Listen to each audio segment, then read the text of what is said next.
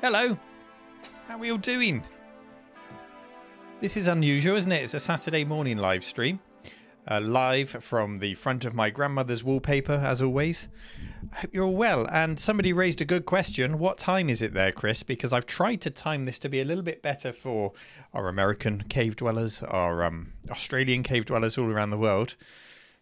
What time is it? Does this work for you? It's pretty. It's, it's 11 a.m. here, which on a Saturday I've got to admit, I'd probably still have my slippers on, shuffling around with a bowl of cereal. 10 p.m. Uh, NZST. Is that New Zealand? ST. What's ST? Is that the Atari Owners Club? Uh, hello, Kevin. Hello, Costado. Hello, Chris. Hello, Stephen. We've got 96 of you. Um, hello to any first time live stream viewers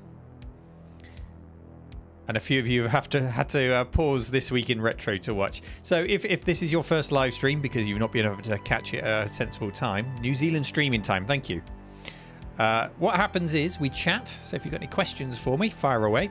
We've got viewer submitted videos on the topic of your caves, so we're going to get lots of good tours of your caves today. Uh, we got a quiz. We don't always do a quiz, but I've got a quiz. Where is it? I've put it into QuizKit, so it's an interactive quiz online. Here it is. So this is a quiz I found in a 1990 magazine. And I've tapped it into QuizKit and we're going to do the quiz later. But I'm not going to tell you which magazine or which month because then you'll start cheating. So we'll do that later. Hello, Amiga Malta. Um, Jess, Tech Department Vine, thank you for following me. And if anyone's got any tech problems, the tech department is right there with Jess and Richard Clap Clap. Thank you for resubscribing with Prime. Very much appreciated. It's not smash hits, Barry.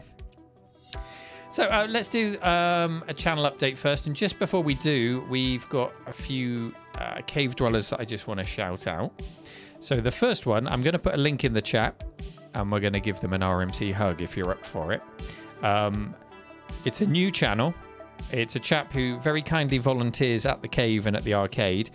And um, he's just started his YouTube journey and he's, he's he's made up to 90 subscribers. So I reckon we can push him over 100 if you're with me. Uh, I'm going to post there in the chat. Arcade Azrael, aka Alan, if you want to go and give it a click and a sub, I'm sure it would make his Saturday morning. And I'm not just telling you to do this as a favor. Uh, I'm enjoying his content. He's, he's picking up arcade cabinets and refurbishing them at home pretty cool. So thank you everyone for subbing to him. And then another cave dweller who I just want to shout out who came to visit the cave recently and it was really lovely to meet him is actually in the chat. It's more fun making it. So if you want to also click there and give him a sub, I think a lot of you will already be subscribed to uh, to Lee at More Fun Making It, but give him a click, give him a sub. It all helps. Oh, and there's this guy called Banjo Guy Ollie. If you're subscribed to him, maybe go and unsubscribe. That's my advice for Banjo Guy Because if you get on the wrong side of him, he'll start making parody songs about you. He'll start ripping clips out of your videos. Um, unsub, please. He's filthy. Okay, if anyone else has got any channels they want me to shout out, just um, drop me a message. Uh, put it in chat. I'll probably have to unblock it if you put a link, but uh, I'm happy to shout out fellow Cave Dwellers channels if you think others will enjoy it. Let's have a quick channel update. Uh, video Costado, thank you for subscribing on Prime. He's got a video later of his cave tour to watch. So, um, let's start with my channel. Where is it? I'm so rusty at streaming. Once a month is not enough for you to be like a quick, free flowing streamer. It takes me a while to figure everything out. Proton Beam, thank you for subscribing.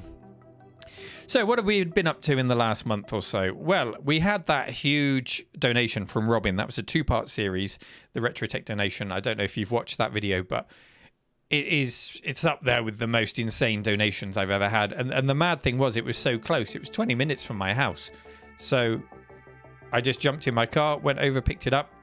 Some of you got to meet Robin because he, thank you, Widgetstein, because Robin very, um, uh, I was going to say very kindly, um, very kindly donated everything, but he was very gracious in accepting an invitation to the cave at the last patron day. And he came along and he didn't just pop in and stick his head in and say, Hi, everyone, and leave. He spent the whole day there and um, chatted to everyone about the things he donated, tried everything out, had to go in the arcade, and then later emailed me um, when he followed up from the visit to say he was terrible at arcade games, but he had fun. So that was nice. And um, no doubt he'll be back again to a future event. So it's really nice to not just accept a donation from Robin, but you know, invite him into the, the Cave Dwellers Club um, to come and visit the cave and hang out with us. So that was nice. He's genuinely lovely, lovely guy. Then we had uh, visitors, the Ted Dabney experience. Well worth listening to that podcast. Uh, a lot of people who I tell about the Ted Dabney experience, people like Dave, for example, from This Week in Retro, they haven't heard of it, and then he just absolutely binged on it. He loved it so much. Uh, it's just really good interviews with the pioneers of arcades, um, engineers from uh, from Atari. I think they've got Nolan Bushnell himself lined up. Do I sound a bit robotic, James? Let me know if there's any problems with my audio.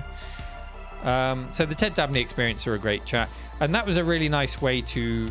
It was actually Alex's event down in the arcade archive, so it was a really nice way to support Alex by offering him the space to have his talk and invite all of his people. And um, we we both got a video out of it, which is always a bonus because it's nice to.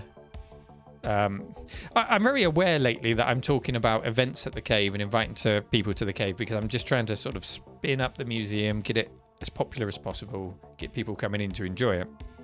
But every time I mention it on a stream or in a video, I'm very aware that there's a huge amount of people watching this stream right now who there's no way they'll ever get to the cave. So I really try to record talks when I can and share them with you, and hopefully you almost feel like you're there. maybe I need to get like a stereoscopic um, camera or something so you can, if you've got a headset, maybe you can actually have a seat in a chair at a talk in future. That would be fun. I'm sure you can do that. Yeah, VR. Hello, Tim. Thank you for the sub. I'm sure you can do that, can't you? Yeah. Okay, I'll get thinking about that. I'm not muted, Chris. Thank you. Then we had the Packard Bell monitor trying to save the Smash Packard Bell monitor, including um, uh, three monitors in total by the end of it. One from Arcade Azrael from Alan. And we got two working. One wasn't well, uh, we only got one in a case in the end. And just yesterday, the one that wasn't working, we got working. The one that had mold on it, we got that working, and we found a really good use for it. Not going to spoil it, but you'll see that in the next Pack About episode, which I'll be working on next week. So that's cool. Uh, Real Minty says there is a streaming service that does 3D recordings of comedy gigs. Yeah, there must just be a type of camera on a tripod that you can just plonk somewhere that has two cameras to get a stereoscopic view. And maybe you can get those 360 degree ball cameras, can't you? So maybe, you know, you can turn your head and look around. Uh, they're probably not cheap, but uh, maybe if I ask the right people and we put a little thing in the video saying that they supplied it, maybe they'll, they'll help us out. You never know. Um, I did. I get emails offering things quite a lot. Um, if I review them, and 99% of the time I say no. I had one last week, which was very tempting, but I, I couldn't work it into the channel. It was a company that makes cinema seating. wanted me to review uh, a home row of cinema seats. I thought there must be somewhere I can put that in the cave, but I just couldn't figure it out. Ah. Um, maybe I should just set up a second channel called um, I don't know, car reviews or something. And then if you all promise to just immediately subscribe to that channel so it looks like a big channel, we can all get ourselves a car. Each month or each week, we'll get a different car given to us to review, and I'll pick a cave dweller who gets the car. Come on, it can be like we can all get in on this. um, Video Castada. I used to have cinema seats at home. Don't bother. They're not that comfortable in the long run. And Lee says Samsung Gears 360 sell quite cheap on eBay. Not sure if there's better tech now. Interesting. Hmm. Uh, Steve says, careful, you might be done for impersonating yourself. Steve's Tech Shed. If you want to post a link to your YouTube channel, please do. Um, yeah, so Adrian Black, for those who don't know, you probably follow him, big YouTube channel. He's got three channels, and his third one was shut down for impersonating himself. And he had real trouble getting through to YouTube to get it unlocked. And um, he did get there in the end, but not before they'd said, "Yeah, we've reviewed your case, and it's all above board. You, this channel is impersonating you, and we've shut it down." It's like, it, but but it is me. How can I impersonate myself? Somehow he got there. Um, Steve, you've just posted three stars. Is that you being blocked? Uh, yeah, I did get a mention, Castado. That was quite nice of him. Hang on, let me just find Steve. Steve's tech shit. Here we go. Oh, look, I'm logged in as This Week in Retro over on YouTube, so I'm just going to subscribe as well. You get two subs out of me, Steve. And I'll post it in the chat. There you go. There's Steve's YouTube channel there if you want to give him a give him a sub. He's up to 347 subs. Let's get him over 350. That'd be nice. So um, yeah, we did the Packard Bell monitor, and then the big video so far this month has been Let's Build the Lab. Have you seen the lab build video? I was exhausted, absolutely shattered from that, uh, but I feel like it was all worth it. Um, oh, hello, John. We'll be talking about you, Orin, in a moment. Um, it was nice. It, it, wasn't so much cardio, um, lots of heavy lifting. Thank you, Ollie. Uh, and I just, I, I, was really happy with how it all came together. There was a lot of planning in advance to get all those bits ordered, make sure everything was in stock, get it all in, and then it was just hard work. 50% of the hard work is getting up the stairs, as I showed you in the video, and then just getting on with it. And then um, at the end of that video, I said, It's done. We can make videos in it. Yay. Uh, that wasn't quite the truth uh, because Heber, who owned the mill, loaned me a room to dump all my stuff in while I built that lab. And as I mentioned many times in the video, they're such nice people, such a good landlord that I don't want to take liberties with them.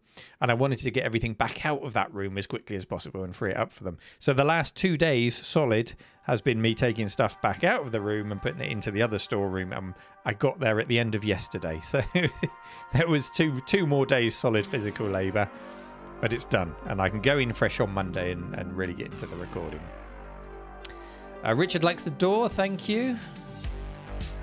Um, how big a space does the cave take up now? Says Jess.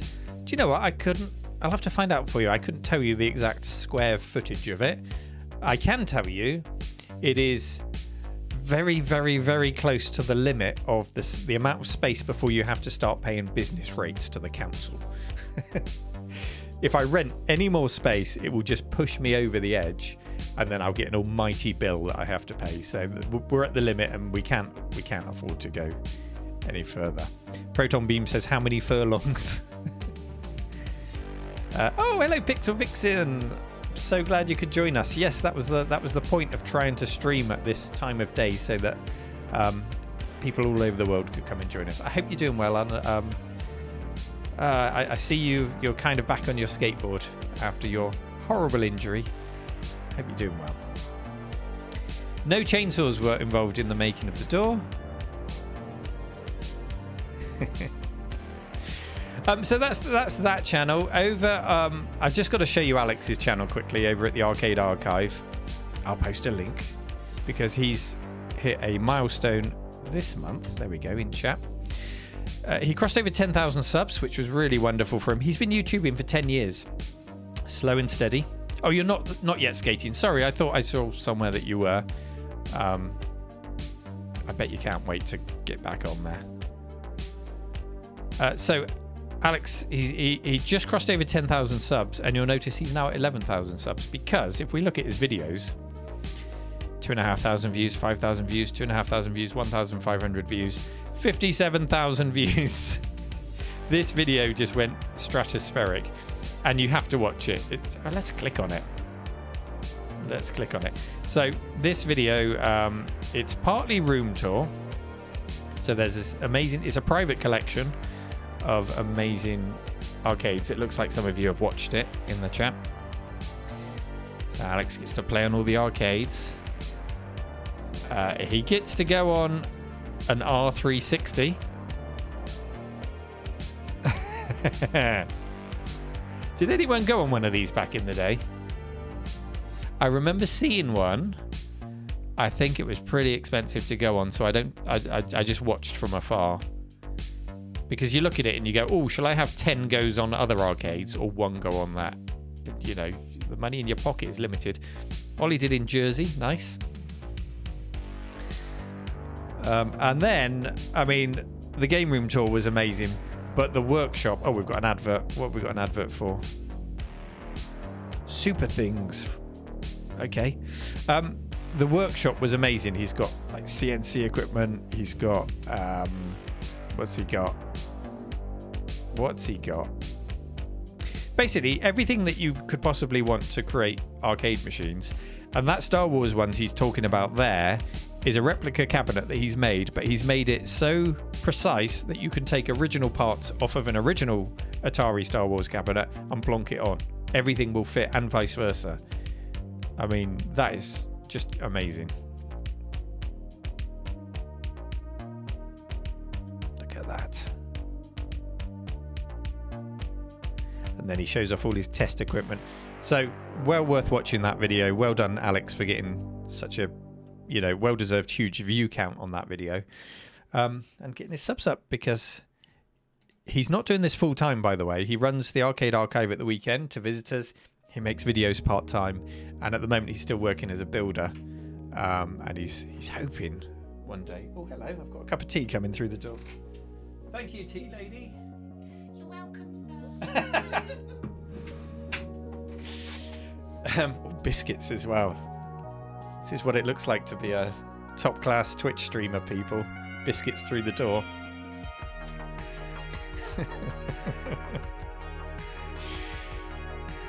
um, yeah, anyway, that's Alex. Uh, and then, little update on this week in retro. This week in retro is just going from strength to strength. And thank you so much to everyone who listens. Do we have any listeners in the chat?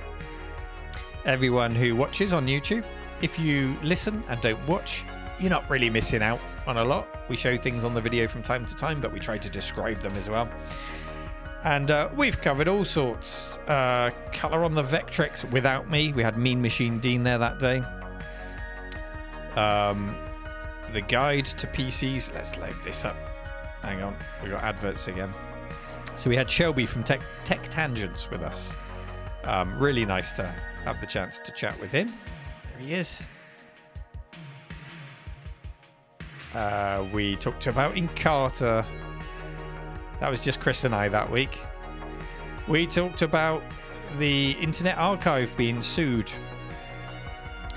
Um, and then this week, it just went live this morning. We had uh, Xyphoe. Um, I should I should share his channel as well. Um, we talked about uh, whether that is the PS3 retro. That was the title of that podcast. So that's just come out this morning. If you want to watch it, is the PS3 retro? Hmm.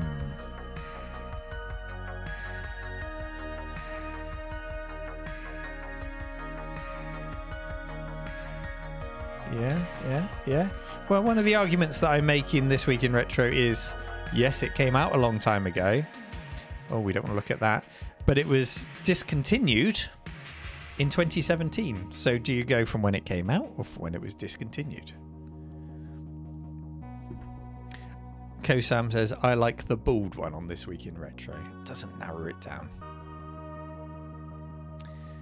Uh, so, yeah, that, that's the channel updates. Outside of the YouTube channels, um, I mentioned Orin in the chat earlier. Uh, I've mentioned in the past that we're trying to do a retro repair service at the mill. Um,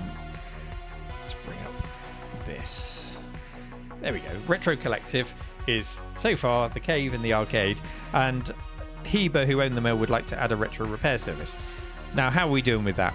We've got a lab, fantastic. Not my lab that I built. We've got, uh, you know, more of a professional lab than a studio lab. We've got two fantastic engineers um, in the form of Orin or John, who was in chat, and Holly, who's there working at the arcade today, just they've more than proven their abilities in fixing everything from Amigas to you know Vector arcade machines to 1970s um, arcade boards. Just great CRT experience as well, which is fantastic. So we've got the engineers. What we don't have, we still don't have a name, and we still don't have anyone to run the service. So what we're looking for is somebody who who can sort of take care of the the customer service, the bookings in, the bookings out, the, the shipping, all of that stuff. Um, we just need to find someone. We just need to find someone. So we're still testing it all out. We- are repairing things um, privately, just one or two different things here to make sure we've got all the tools, to make sure we've got the knowledge, the capabilities, figure it all out. But that's where we are with it right now. So hopefully we'll see that soon. Um, but I am I'm one step back from that service. That's not something that I'm running. It's not something I'm going to own. Uh, I'm just helping to facilitate the, the the spinning up of it, like we did with Alex, so that you know he's running his arcade down there. He's got his little business down there, and somebody else can have their repair business and whatever else comes along. I'm Just gonna have a bite of my biscuit, do excuse me. It's a good biscuit.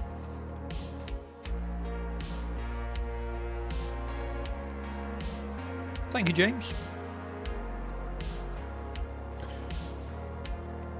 Um, retrocollective.co.uk, by the way, is the place to go if you want to book uh, book a visit. Um, somebody who was it in chat earlier when we just started up was asking about David Rowe. Are you still here? Really minty. Glad you're still here. So yeah, originally David Rowe was due to um, have a day today, and we moved it. Why did we move it? Well, be totally honest with you, we've had a few guest speaker days. Um, they've been fun, but they've been very hard to sell tickets for. So I am extremely passionate about um, David Rowe, Hoffman, the Oliver twins, people like that. I could sit and watch them all day. But um, when you want to find 30 people who can actually physically get to the cave and spend a day with you and with them, it's pretty hard. Very hard. And what I find is when we do our patron days, they always sell out. They're really, really popular, great days. So what I've decided to do is move guest speakers into patron days so that we know it will be a busy day, so the patrons get extra value, if you like. They get an even better day and a varied day. They get a different day every time. So we've um, we've merged two of our upcoming guest speakers into the next patron day. So that will be on the 12th of April. Um, I haven't put the tickets up on sale yet. I'll do that next week. And um, David Rowe will be there, artist from video games, magazines, did the backdrops to the TV show Knightmare, uh, amongst other things. And Jim Bagley will be there. 12th of April is in the past. It was a great day. It was just me, David Rowe, and Jim Bagley. 12th of May, you're right. 12th of May. So, um, uh, yeah, so Jim Bagley will be there, who many of you will know as uh, an incredible um, ZX80 coder. Lots of Spectrum games, done ridiculous things on the ZX80, like uh, you can play Dragon's Lair on it, thanks to him. Um, Game Boy games, he's got a really interesting history. So they're both going to come and do talks on the 12th of May, not April. Um, and Reese says, any plans for more board game nights? So we we're trying to get into a tradition of having a board game night the evening before the patron day, so that anyone who's come from afar and is staying over can just come and have a pretty relaxed game, board game. Reese turned up with a box of beer. Why not? Um, play some games, have some beers, and ease into a weekend at the cave. So the reason I haven't put the patron day up yet, Reese, is just because I'm just waiting for confirmation on the board game um, event. It was funny the board game event. It was split into two. There was advanced board gaming and then there was casual board gaming. I went for the advanced board gaming. I am not an advanced board gamer, I discovered. We had, I would say, 60% of a game in the two and a half hours we were there. And the uh, the casual board gamers, I think they had four or five games.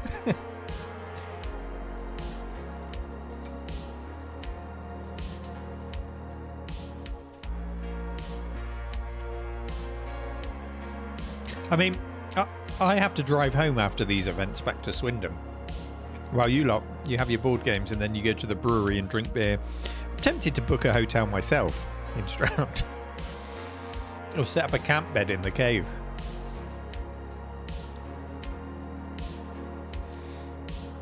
I, I pro- probably said that too loud. Lily might have heard in the room next door. Um, okay, so that's that. And then the only other thing I really need to update you on on the channel is MiSTer Multi System and products. Um, we have three things which will be going online next week. That's what I'm going to say.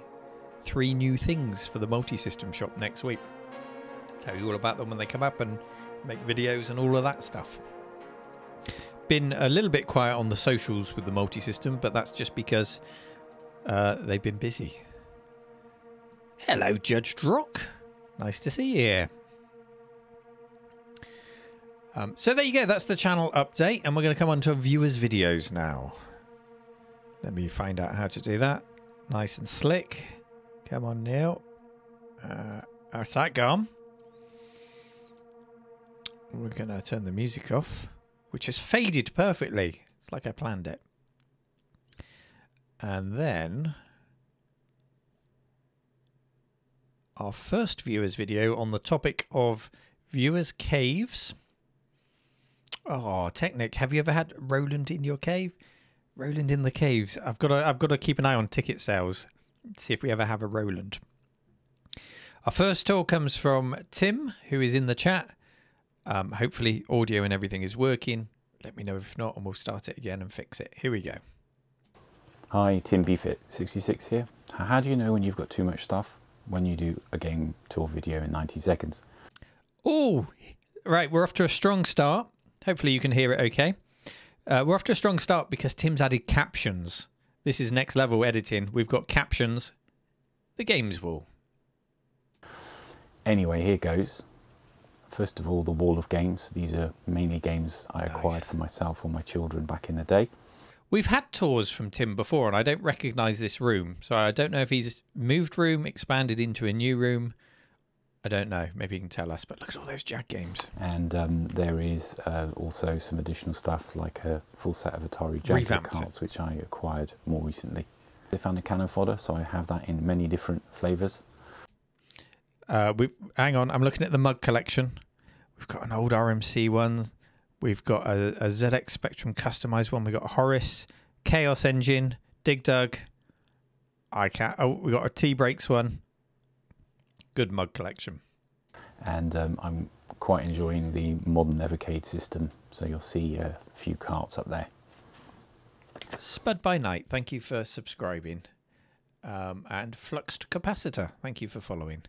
So we've got, um, is that the Everdrive carts? Yeah, all the collections. I think that's what they are. Um, I'm looking up there at the uh, top. Sorry, you can't see my mouse pointer. I'm pointing at things with the cursor and go, I'm looking up there. You can't see it. So, top right, I'm looking at the LucasArts archives. Two boxes. They look interesting. Here's my workspace. The computers I tend to leave out, Apple II, Spectrum, and A4000 are hooked up. Oh, look at that marquee. We've got um, an LED marquee up there. arcade, which I do use from time to time, and uh, a great deal of collectible stuff I've acquired over the years. Nice. And then I have a number of computers. Um, I'm Stratford is- Dave. this is my shelf of um, flops, Enterprise, Memotech, and so on. just just savor that caption for a moment. Um, all your base, Chris Retro. Hello, thank you for joining us.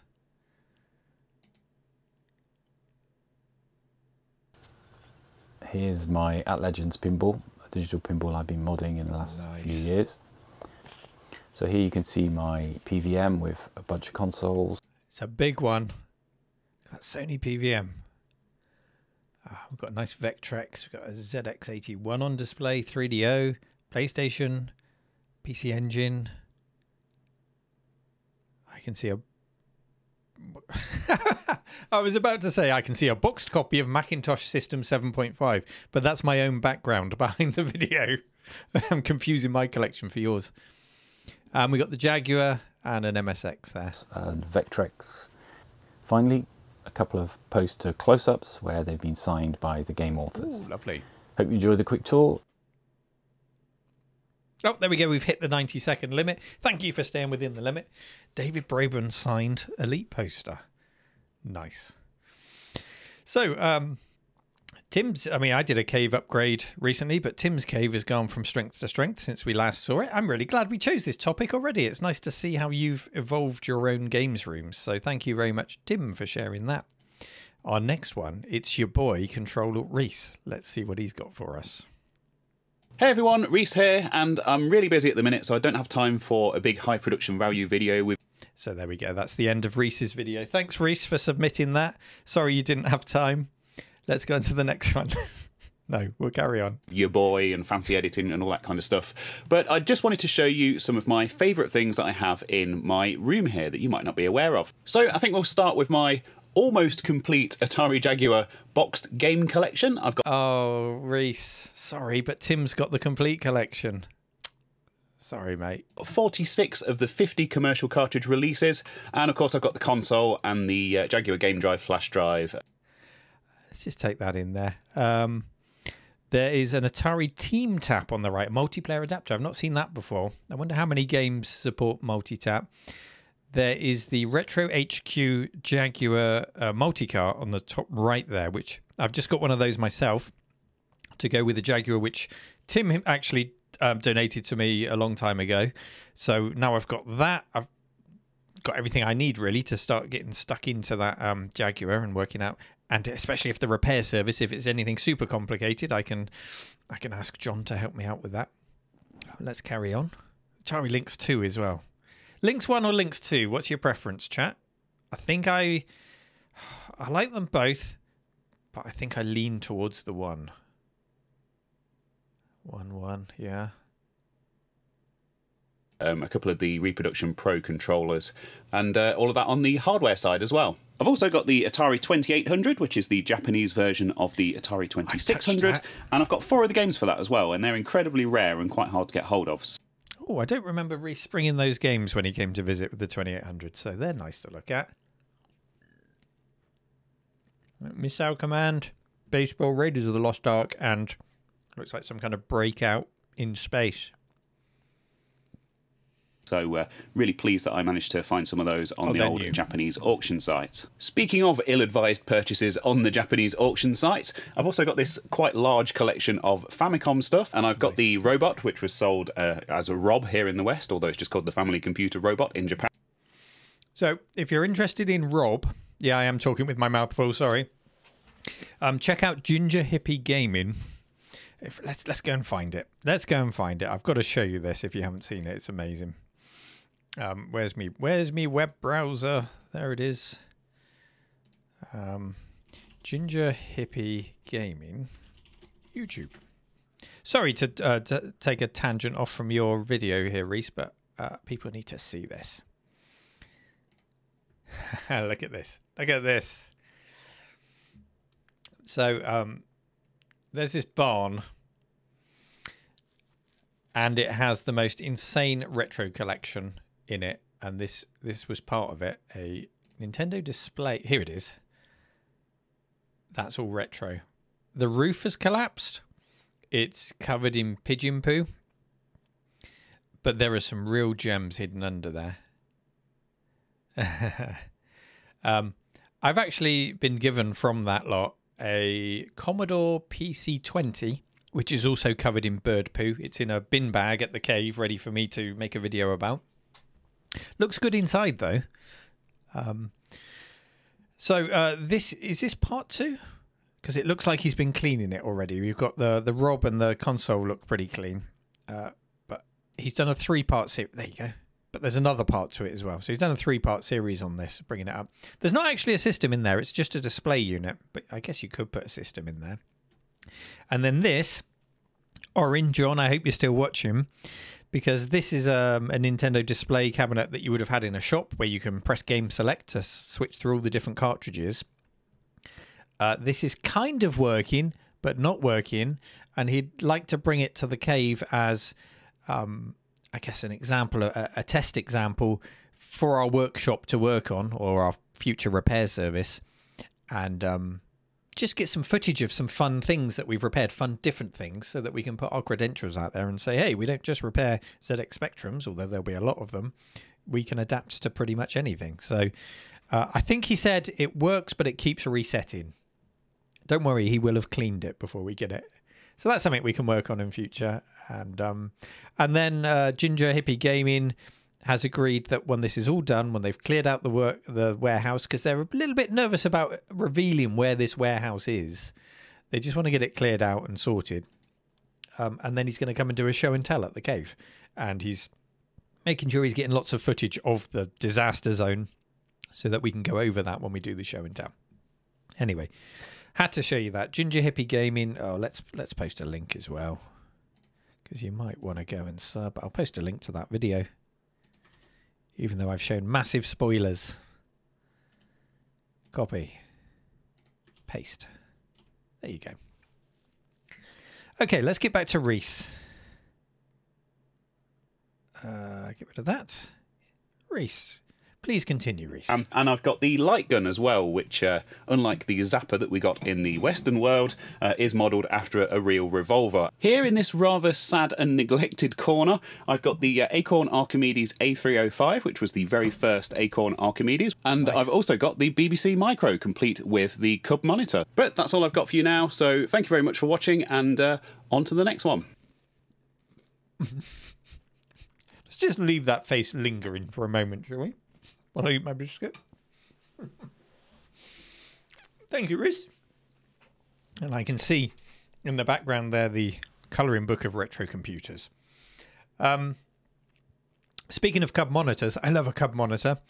And last week, a chap called Dr. Ian Logan came to the cave. I did show a little bit of it in the um, the lab video very well known in Spectrum circles. He wrote the book on disassembling the ZX80 ROM, all sorts of assembly programming uh, books and things like that. And he donated a bunch of kit, including the Black Cub monitor, which is exactly the same as the Cream Club monitor, Cub monitor, but it's black, which looks gorgeous on a ZX Spectrum. And it works. I'm just waiting for an RGB cable for a Spectrum Plus 2 to come out.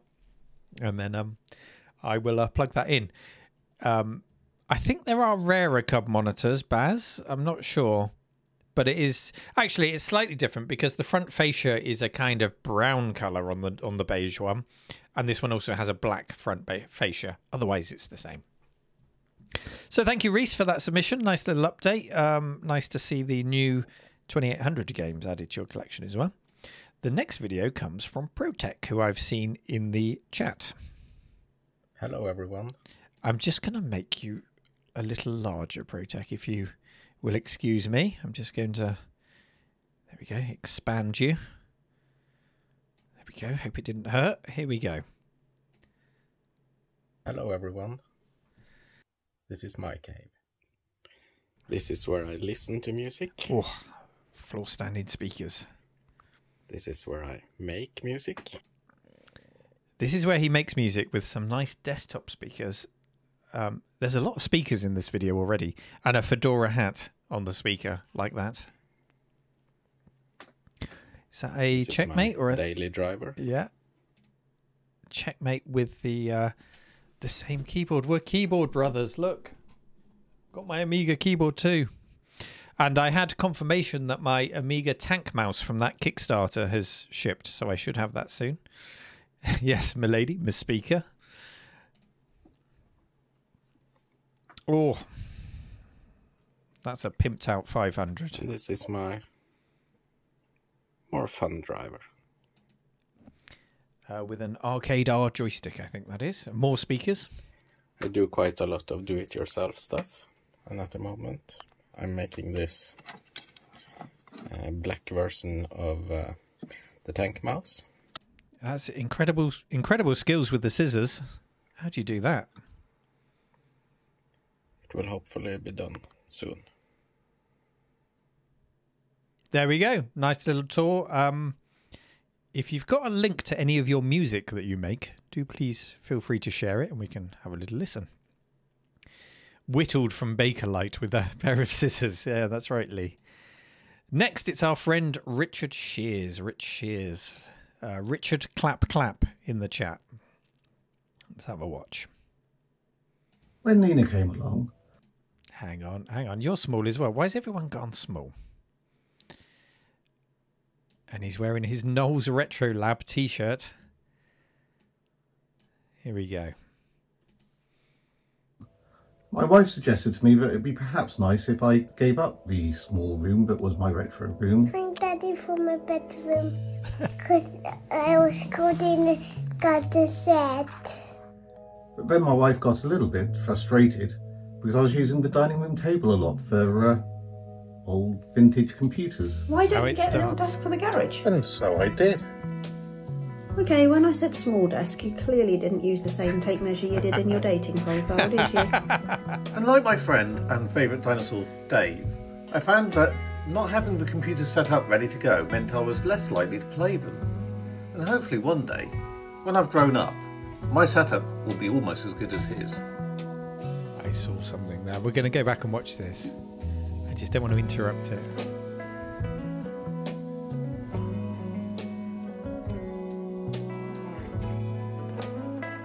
Thankfully, I've kept my collection under control. As you can see, there's very few here, only the bare minimum. I've only got a few PCs hidden up in the loft. okay, don't you think you've got enough now? I know you work hard, so you should play hard, but I just wish you could get home. Oh yeah, I might have created a bit of a loft in the garage. Yeah, just to hold it one or two more.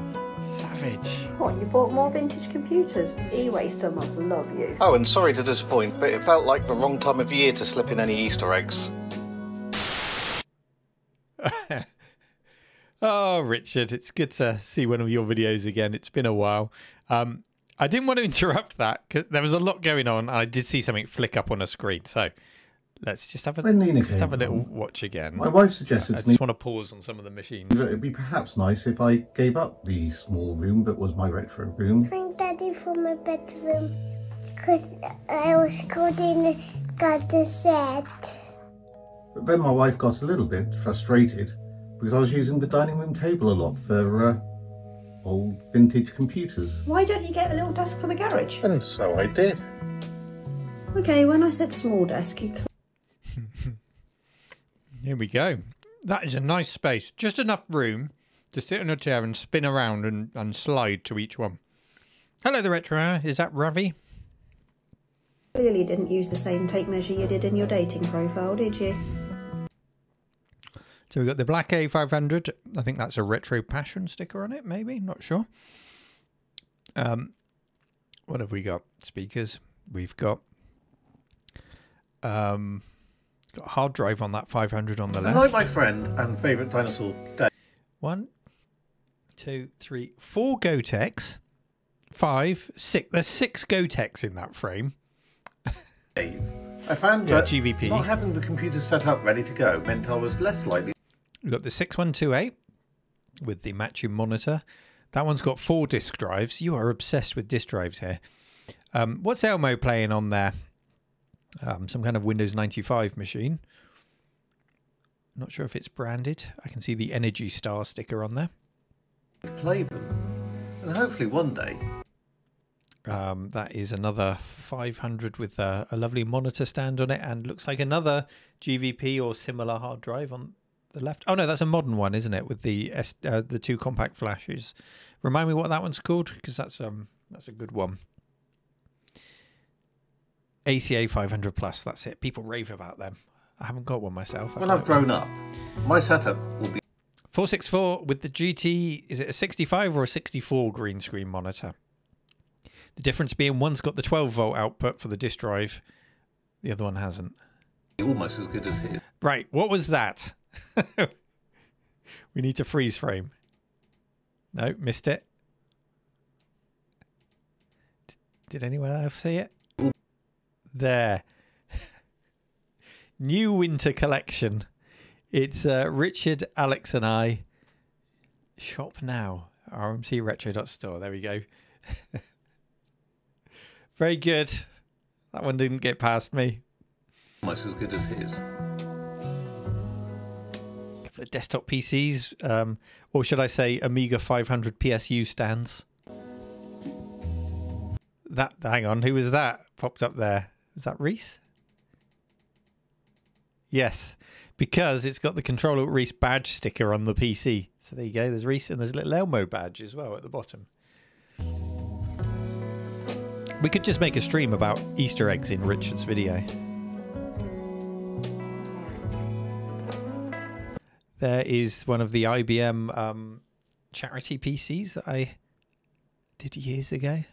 Thankfully, I've kept my collection under control. As you can see, Another nice desktop up there. NetVista, that's It the one. very- Thank you. Um, hang on. Just on the right hand side, we've got Windows 95 Grand Prix. Oh, a boxed copy of Vista Pro. I've never seen a boxed copy. And a whole bunch of flight simulators and Dungeon Master. A man of taste. a few here, only the bare minimum. I've only got a few PCs hidden up in the loft. Okay, don't you think you've got enough now? I know you work hard, so you should play hard, but I just wish you could get hard. Oh yeah, I might have created a bit of a loft in the garage. Yeah, just to hold it one or two more. What, you bought more vintage computers? E-Waster must love you. Oh, and sorry to disappoint, but it felt like the wrong time of year to slip in any Easter eggs. Right, there was something there. Hang on. That was a very quick one.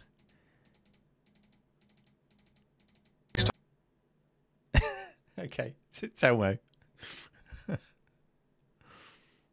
Eggs. There we go. Thank you, Richard. Um, let's move on now to Pillock, who I know isn't watching today because he's on a family holiday and they've made him go out for a walk in, in the outdoors this morning. So if you're watching this later, um, say hi to Pillock. Hope you had a nice walk. Hello, Pillock here.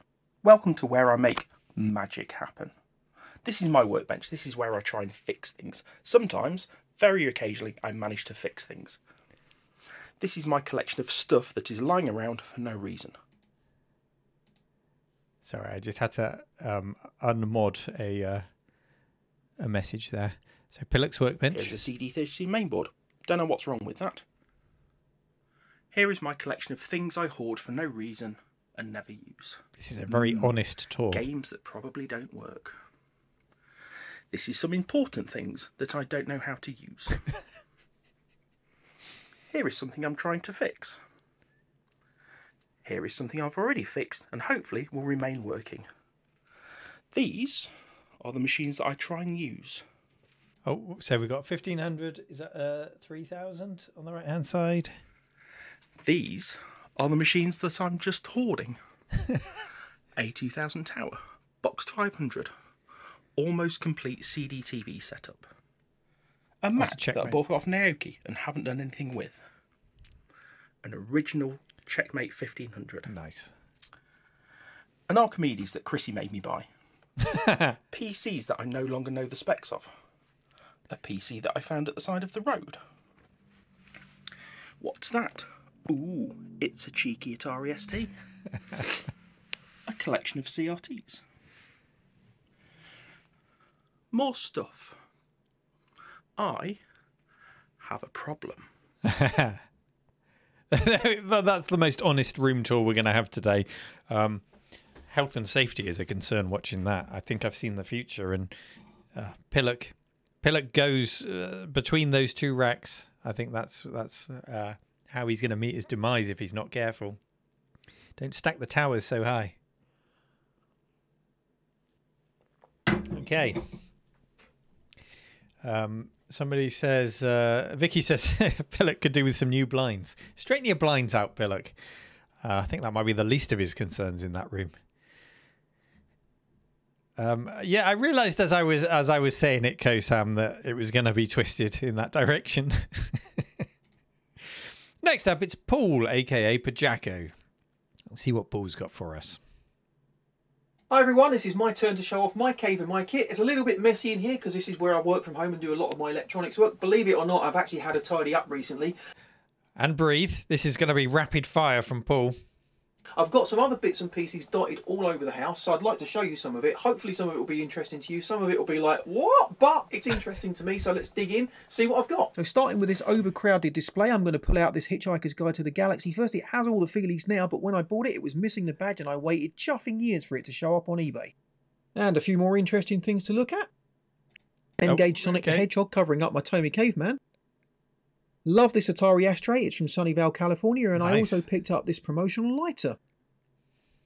This is my Oh Mummy collection. I think this is all of the cassette variants, including the Camputers Lynx and the Spanish Amstrad versions. I've got a signed Speccy inlay, and I'm still on the hunt for the Tatung Einstein version. Make your own lampshade kit, and I chose arcade marquees. An Apple One clone, a homemade working power supply for it, my scope tricks, and my heat gun and my moo gun. Love a Picked these cards up at a Thimbleweed Park launch event. I got to meet Ron Gilbert and I got his autograph. Cool. That's good. I was lucky enough to meet Bob Wakelin once and he signed this for me. They even had game patches in the 80s. You're not funny. Some really cool arcade tokens from the World's Fair in Knoxville in 1982. And who hasn't accidentally bought two of the same thing?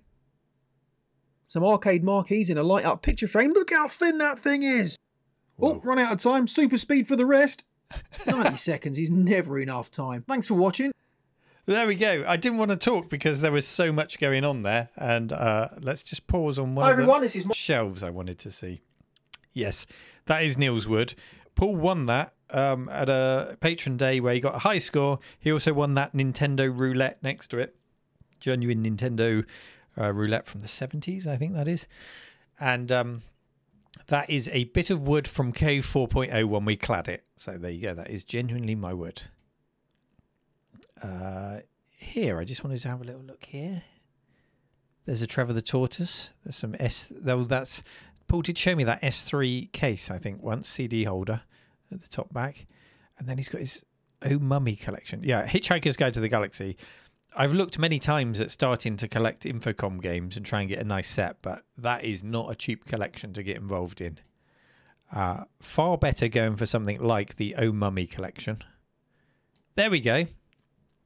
So nearly every copy of Oh Mummy except for the Tatung Einstein. Is that one on the right? That's the MSX with a completely different cover. Um, I had it on my Amstrad, and all my friends had it on their Spectrums, but I, I don't remember it being a particularly good game, if I'm honest. But it's a collection you can maybe complete.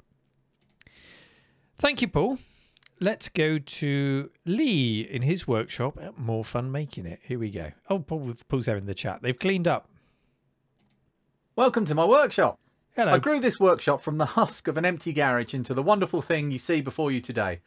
Can I just say the uh, the lighting, the editing, the um, yeah, the the, the filming here is is of a high standard. And I use the word grew in a very literal sense. Hang on, hang on. That was a that was a turn to camera. Here we go. Watch this. This is slick. And I use the word grew in a very literal sense. When I first used this as a place to make things decades ago now, all I had at this end here was an old door nailed to a few bits of wood and attached to the wall as a cheap work surface. Workshops evolve and are never a finished thing. If you take that into account, the growing pains will be easier. This used to be my office games VR room, right Sorry to pause it. Just having a little look. Nice tower with the obligatory side off of it. Uh, nice CRT. Nice. Let's continue. up until the space lurgy struck in March of 2020. I started making a few things from wood to pass the time. To help with this, I started collecting tools along the way. After making this workbench, I built a bar top arcade for my great nephews and niece, which turned out far better than I imagined. Beatoncade. Nice. That's hand painted artwork on the side. After building another bar top for my neighbour, and then a pinball table for myself, and having discovered and watched many a trash to treasure, I wanted to have a crack at this repairing electronics lark myself. So I built another workbench over here and started putting together, bit by bit, Hang on. That was too slick by half again. Look over here. Let's let's do that cutaway again.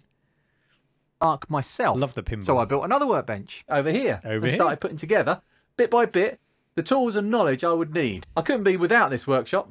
Through some tough times, this place has kept me just this side of sane. I truly treasure it. Same? Really? That's a stretch. And a lovely finish there. Well done. Lovely dismount. Um, yeah, I love Lee's workshop, and the pinball table is is great. And uh, we we shared the link earlier, so do go and follow. More fun making it, and uh, the mic stand. What is that mic, Lee? Because you get lovely sound out of that mic. Lovely finish and dismount. That's right, Kosam. A Yeti. It's a Yeti of some form. Nice. Okay, thank you, Lee. Next up, we've got Chris. Chris with a K. What's Chris got for us? Hi kiddos, it's Chris here. Welcome to my house of DIY. Yes, no flooring at all. Nothing prepared. What was the kids' bedroom is now a storeroom. What was my workroom is now oh another storeroom. For those who don't know, Chris is a regular on our Discord chat server and uh, has been posting updates of all his DIY. Great. So this is where he is with Boxes, it. flooring. Yes, I've been busy networking and DIYing and making my house the future. I'm now living in space. This is perfect preparation installation for being out of space and in the future. Genuinely, my five-year-old is very unhappy that the floor is not going to stay like this. I would be too. Love it to stay gold. So now I have to get her something gold. I love gold. Now, well, there you go. There, As I said, networking. I've been able to route my networking cables down Are network cables retro yet? down a pit which is here, which is covered over, down to my living room where I can nag my network. Link aggregation. Yes, the future is there as well. Amazing.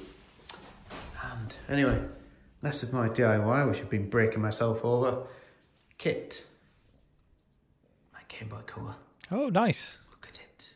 It's amazing. Enjoy. That's Neil. Bye bye.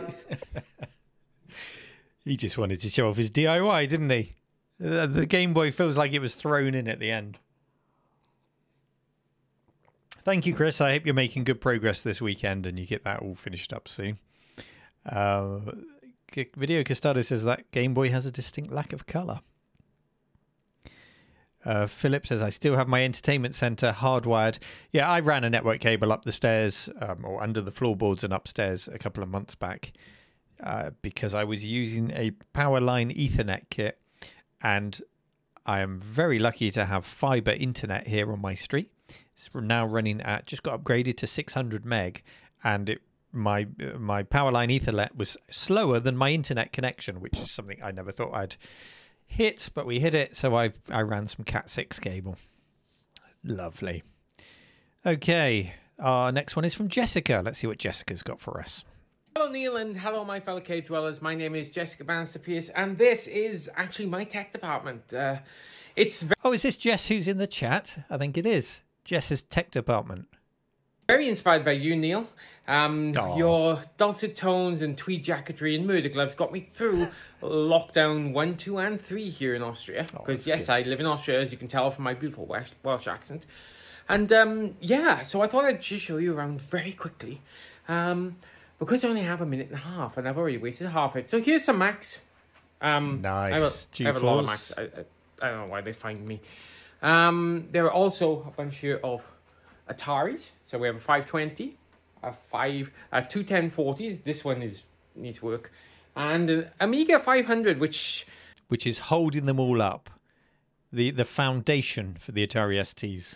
Well, I don't want to talk about that one. There's also some more Oi. you know, Apple stuff, vintage stuff. We also have a bunch of 8 bit machines, iMacs, lots of iMacs, PowerMacs, all, all the PowerMacs, and some Dreamcast and other consoles in there. A workbench, where I allegedly fix things. More iMacs. Oh, nice boxes. I remember unboxing one of those when the iMac came iMac came out. I had to install some in an office. I haven't seen that box since then. That's nice. I'm currently working on this machine. Um, yeah, I don't want to talk about that one. and uh, yeah, there's a little retro area there. There's a ZX Spectrum. We've got a Mega Drive 2, Super Nintendo, Xbox, and a PlayStation. Oh, and a Master System up high. Nice.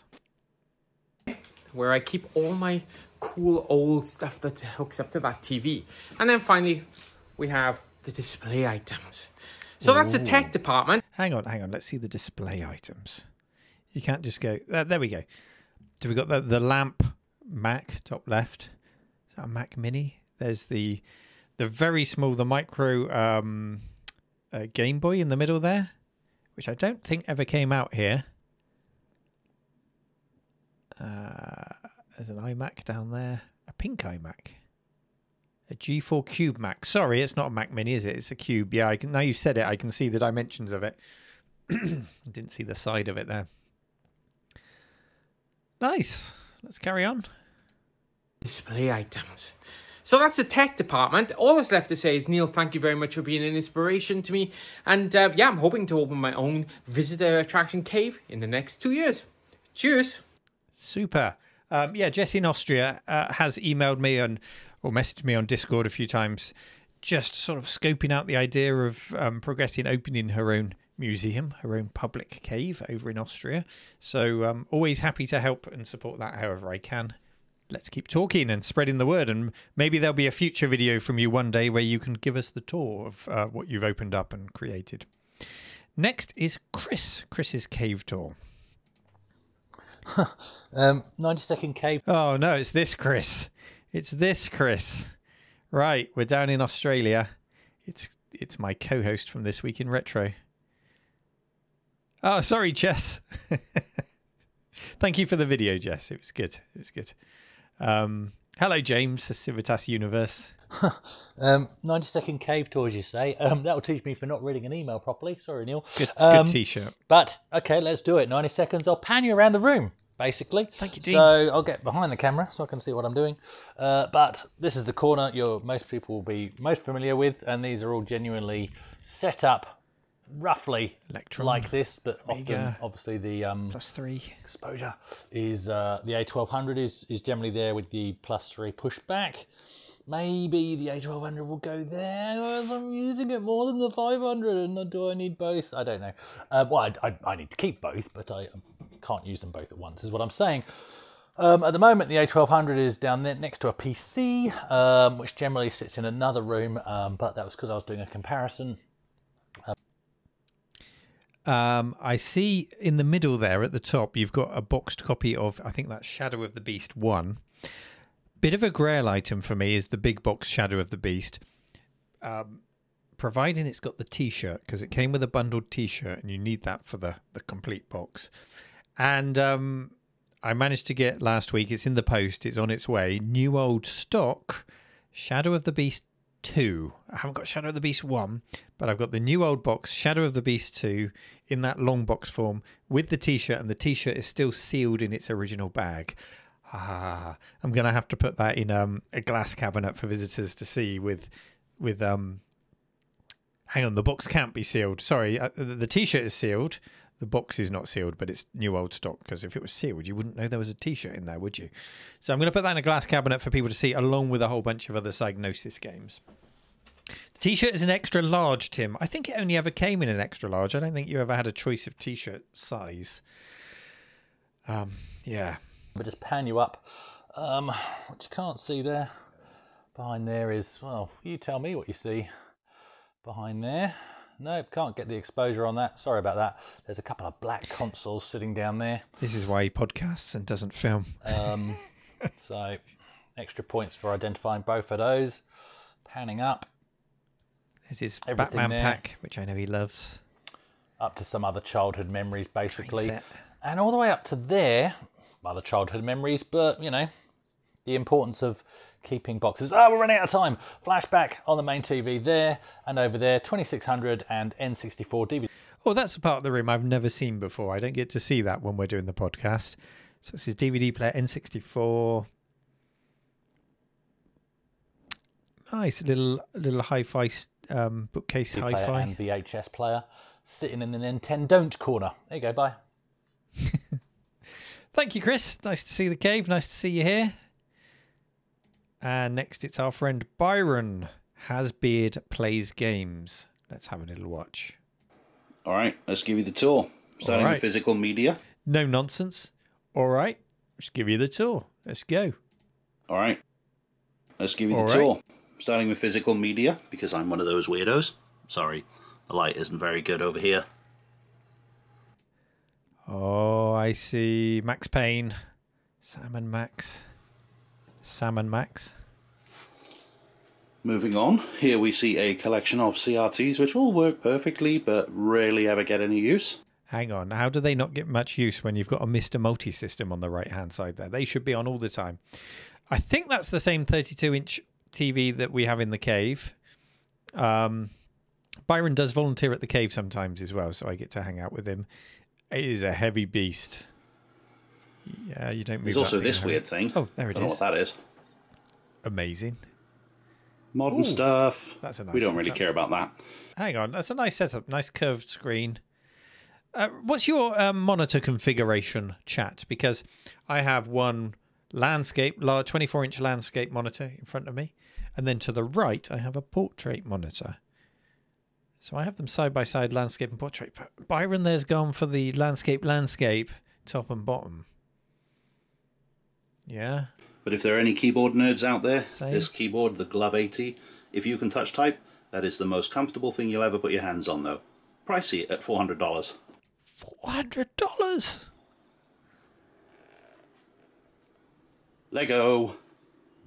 Bonus points. More Lego. Saturn Arcade 5. sticks. PS2. Xbox. Yes, I've sorted out the clock capacitor. There you go. PlayStation, Xbox, Saturn, all there. Boxes of stuff. Which includes my original PlayStation. More boxes of stuff. Beer machine without any kegs. More boxes of stuff. And, uh, Cleaning and lubrication. Ooh, that's a fun one. and lastly, by no means least, my Atari STE all the way the hell up here, which I've had since Christmas 1989. It was going so no, that's well. not the box for it. That there is an STFM in there, but that's mine, and you'll have to pry it from my cold dead fingers. Oh, that's nice. Are you missing a key there, Byron, on the top right of your numeric keypad? The uh, the star and the slash, or the plus? Yeah, star and the slash. I think go up there, or is it a plus and minus? I can't remember. Back to you, Neil. Are you are you looking for the keys? Do you need the keys? Can anyone help Byron with his missing keys?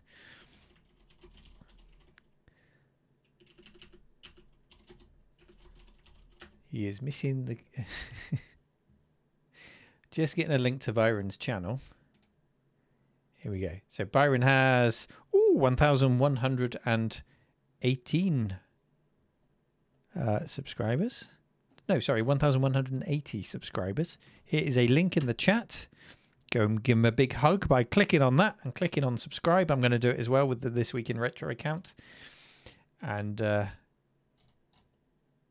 there you go. Give him a little hug. Okay, thank you, Byron. Next up, we've got uh, we've got three more. It's my learned friend. Oh no, we got two more. Sorry, it's my learned friend next. David, who I saw in the chat earlier. Working from home means that I have a study that doubles as my cave. And yes, it is Piano. a cable management nightmare before any of you ask. Here we have my Dreamcast, which is modded with the GDEMU optical drive emulator. I've also installed a replaceable battery. Here's my Saturn, which has got a Fenrir in it and a Nice. 50 60 Hz switch inspired by Mark Fix's stuff. This is a Japanese N64 with an EverDrive 64 and an RGB mod. All of the mods, all of the mod cons. This is designed to be played. Uh, GameCube with an SD mod running Swiss, a mail bombed Wii with an external hard drive, a much underrated stock Wii U, and the modern stuff a Switch, a PS5, and an Xbox Series X. Everything. Turn the corner to the musical corner with a piano dedicated to Neil's playing, and my Hama bead models, which I discovered in lockdown, is perfect for pixel art. Yeah, nice. And they give away really my love of all things PC, which is dealt with here by a custom built emulation PC for MAME and anything complicated, and a MiSTer. a naked nice. MiSTer, mind. wonder if anyone sells a case for that. and that projects onto a big TV. and that means I can do this. Now I'm very lucky to have all of that, but you'll notice nothing really bulky or complicated or very old that needs constant maintaining. I think things like that are better in places like the cave, and that's one of the reasons I'm so proud to be a patron. Back to Neil in the There he is. yes. Working. Um, when we first had the first public cave day, there it is. That was David's reaction as he came. I think he was maybe the first through the door into the cave on the first public day. So that was his reaction. It was the perfect YouTube YouTube thumbnail face.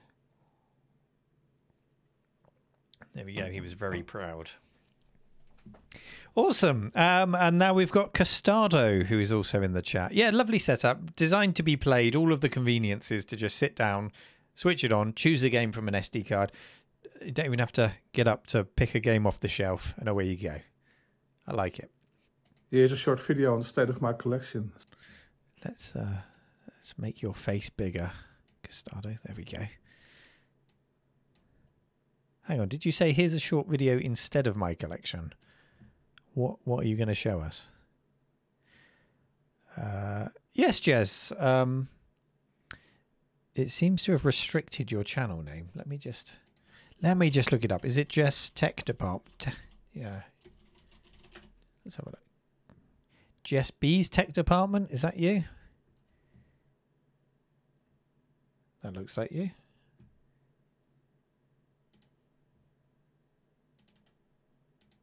If it's not you, we're, going to share it anyway.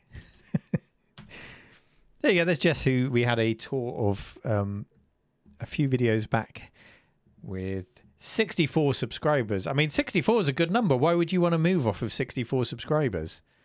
I think I think we keep it at 64. Who's going to go and ruin that? Oh, sorry, it's gone up to 66. Someone's ruined that sub count. Um, yeah, go click on that, and maybe when Jess gets her public cave open, give it a watch. Yeah, 64 is perfect. Maybe we should unsubscribe, get you back to 64. Here we go. Right, Costado, what are you going to show us? Short video on the state of my collection. Somebody asked for it. Here you go.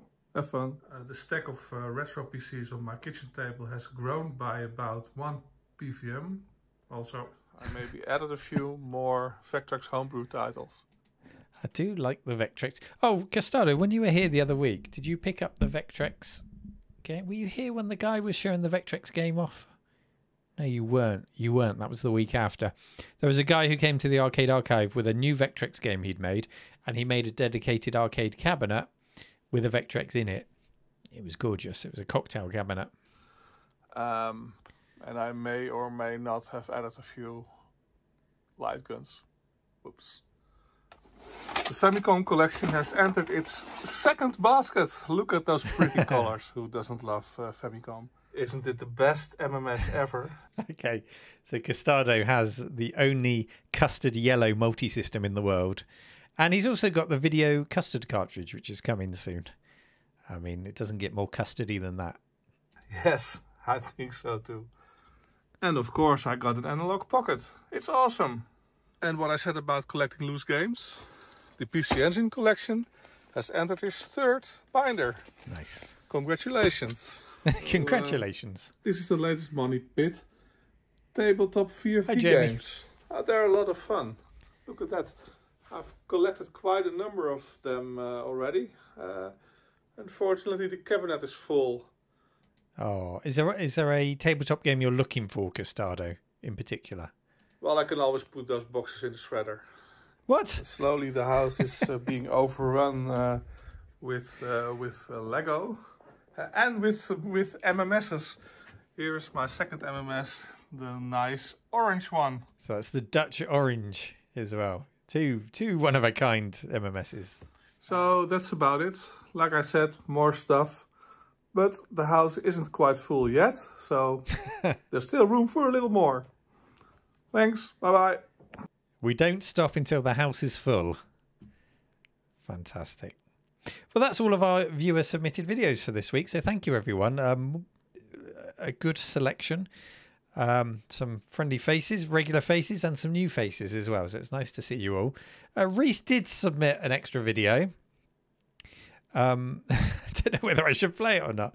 So he used ChatGPT to to have a fairy tale story made about me, and then I stupidly on Discord because I was doing some voiceover at the time narrated it, and now he's made it into a video. so I'm going to play it. I'm going to take the opportunity to have a quick bathroom ba- break. Do the same if you want to, and then I'll be back and I'll just leave it playing for you.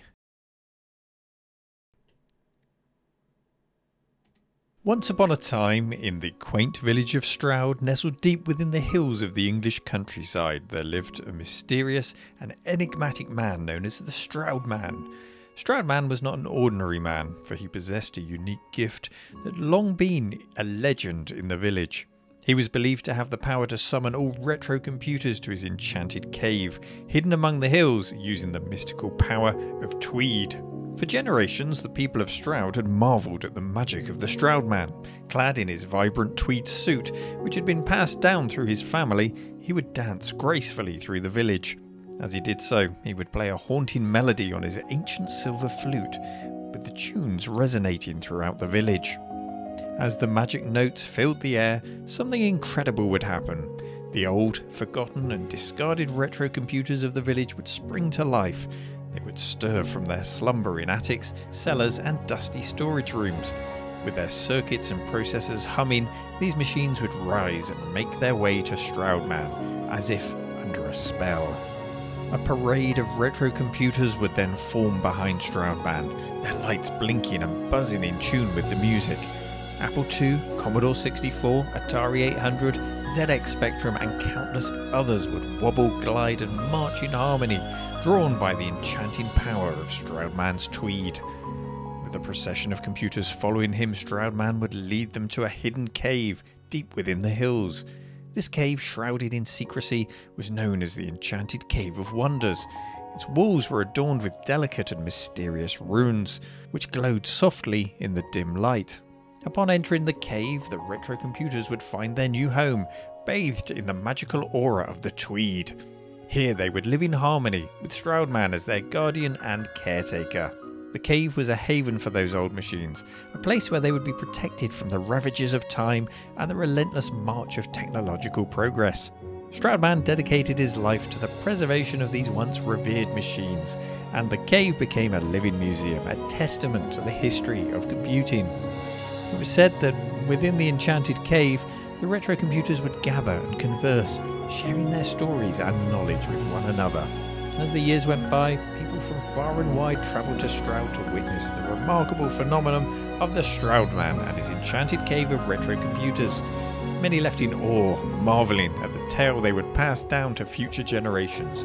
A tale of a man who, through the power of Tweed, preserved the rich legacy of the early days of computing. And so, the legend of Stroudman lived on, inspiring curiosity and wonder the hearts of those who heard his remarkable tale.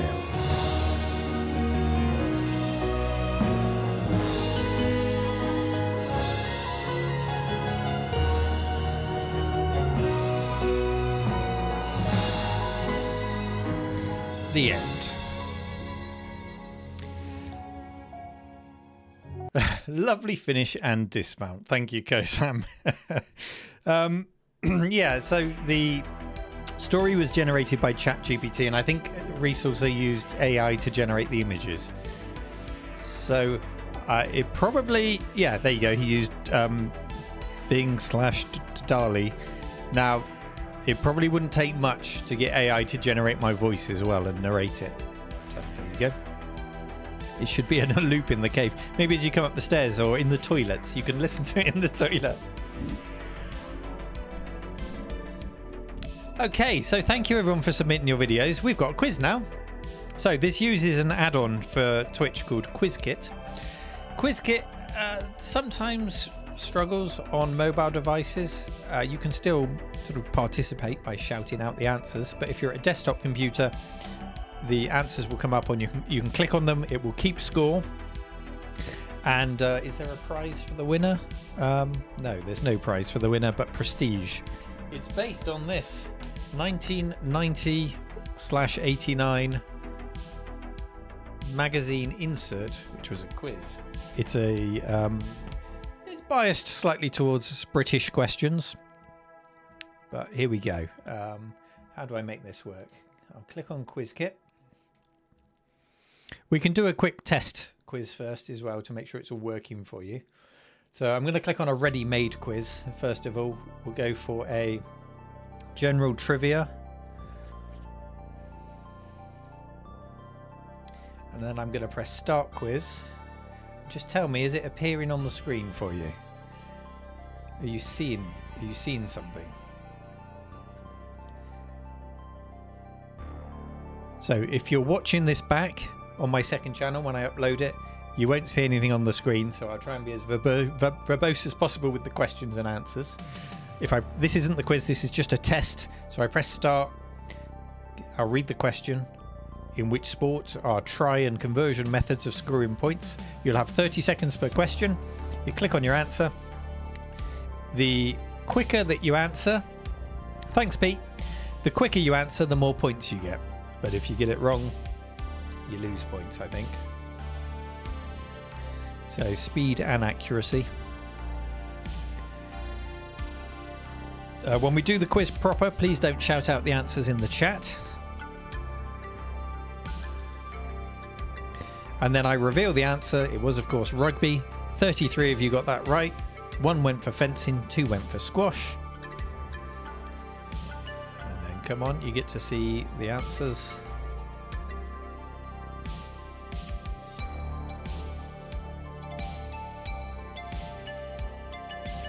And then I press show scores, and then you can see a very imaginatively named gentleman there was the quickest. My learned friend was third. Kosam was fifth. Now, if you're showing up in the scoreboard as contestant number 75, like fourth places, um, I think you have to. Hang on, can you help me in chat? You have to click on something, don't you, to to give it permission to use your name.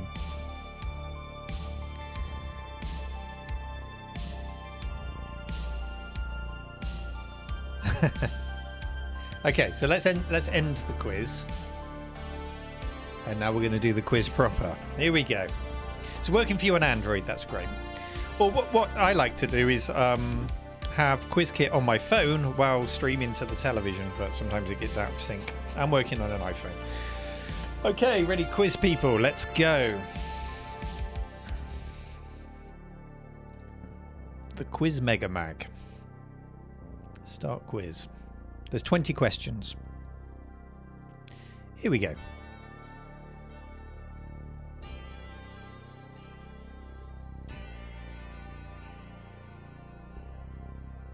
Yeah, nothing will show on Twitch unless you've got the add-on enabled, Dean. I'm now going to press start game. Which game spent a record length of time at number one this year, 1989? Was it Robocop, Rambo 3, Untouchables, or Short Circuit?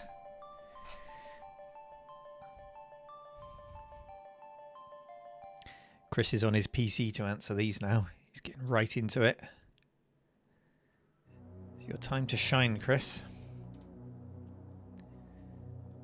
Oh, I've got a DM from Protec. I've just seen that, Protec. Thank you.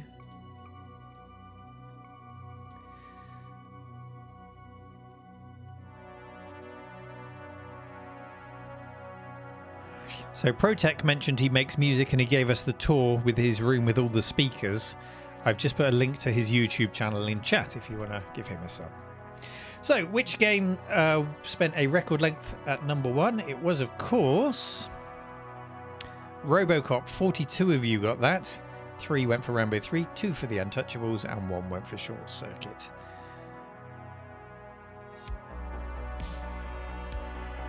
Ah, sorry, Chris. Robocop was huge. And Retro or Bust was the quickest. Mean Machine Dean was up there. Costado, Dark Star, Togster's up there. But it can all change very quickly, this game. Let's go to the next question. What is the sequel to Operation Wolf called? Operation Stealth, Operation Rolling Thunder, Operation Thunderbolt, Operation Desert Storm.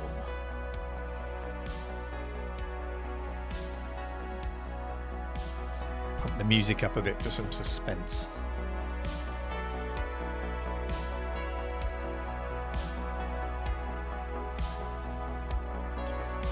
Operate just Operation Custado.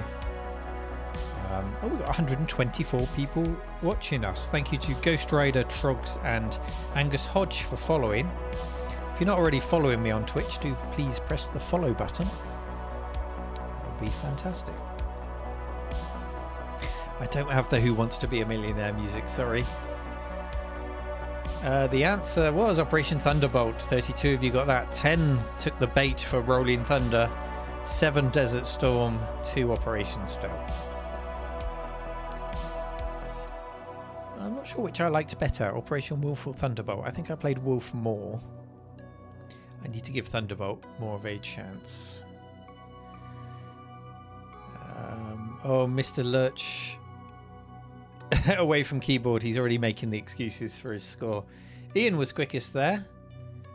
And Ian is top of the scoreboard. Mean Machine Dean's moved up to second. Dean is a competitive man. He's going to be wanting this. A question What is Gradius better known as in UK arcades? Gigawing, Silkworm, Nemesis, or R Type? Remember, these are all genuine questions from my magazine. I didn't write these, I just typed them in. And also in the quiz is this fantastic poster. Chris will like this. It's a Ferrari. I'm not sure who's driving that, if it's Senna or Prost or Mansell. Who's driving? Doesn't say. And it's got electronic arts on it as well. Looks like Senna. Um, oh, I should reveal the answer. It was Nemesis. Oh, that split you. 21 went for Nemesis, 16 went for R type. 6 for Silkworm, 6 for Gigawing.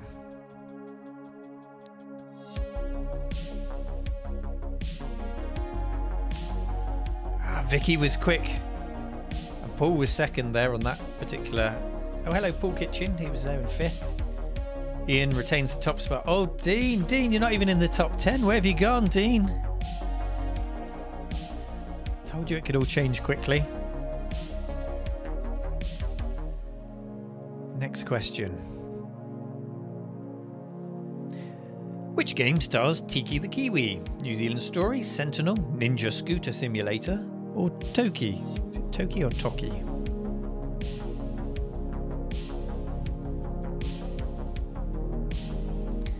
This game was on a cover disc of issue one of a particular magazine that I had back in the day. I enjoyed the demo so much that I got a pirated copy of it.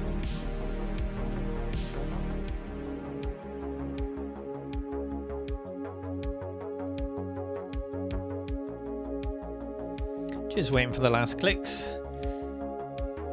Which doesn't involve Chris because he's frustratedly unable to click on anything. The answer was New Zealand story. Yeah, pretty much all of you got that.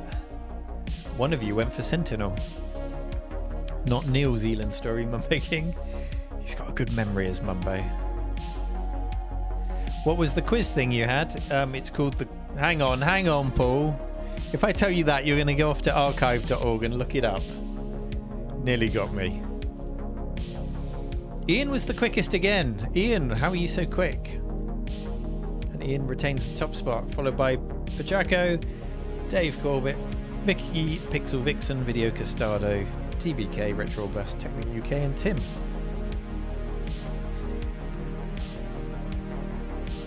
Um, I have put the questions in in a random order, so even if someone has found the publication, they're still going to have to look it up.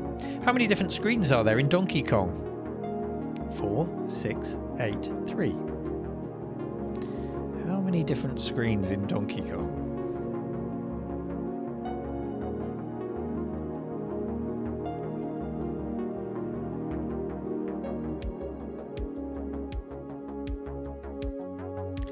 Um, good. Oh yeah, which version? Wow. I mean, I didn't write the questions. I didn't write the questions. I just typed them in.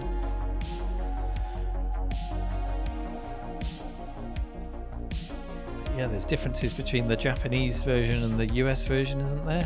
I'm pretty sure Alex has told me that in the past. Well, the answer that it's given me is four. 21 of you went for that, which was the most. 11 went for six, 11 went for three, and, and uh, three went, f- sorry, yeah, three went for eight. Oh no, it's Bonnie Tyler all over again, isn't it? If anyone remembers the Bonnie Tyler quiz question. For anyone who doesn't, we have a mashup music round on some of the quizzes. Not this time, sorry, but in the past. And uh, there was a question, there was a music round asking who it was. It was a Bonnie Tyler song, but it was sung by Glee. And everybody hated me because the answer was Glee and not Bonnie, Bonnie Tyler. yeah, people in chat see they haven't forgotten. We will never forgive. Next question. Oh, hang on, I haven't shown the scores. Oh, Ian wasn't the quickest there. Retro or Bust was the quickest. Oh, I think Ian must have got that wrong or, or skipped an answer because he's dropped all the way from first to eighth. And Pajako Paul goes first. Vicky moves up to fourth. Castano moves up to third. Okay, next question. Which character did Ultimate make famous in such games as Nightlaw, Underwurlde, and Sabre Wulf? Was it Sabreman, Monty Mole, Sonic the Hedgehog, or Trevor the Tortoise?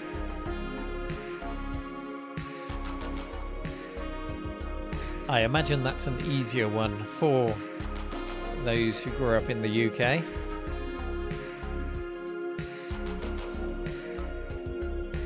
And fake Australians like Chris.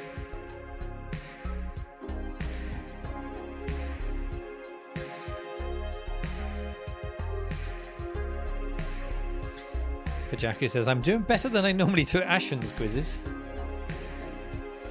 Well, remember these magazines were written for, you know, teenagers and kids at the time, this particular magazine. But then it assumes you are in 1989, 1990. Yeah, 48 of you got Sabreman, two went for Monty Mole, one went for Trevor the Tortoise.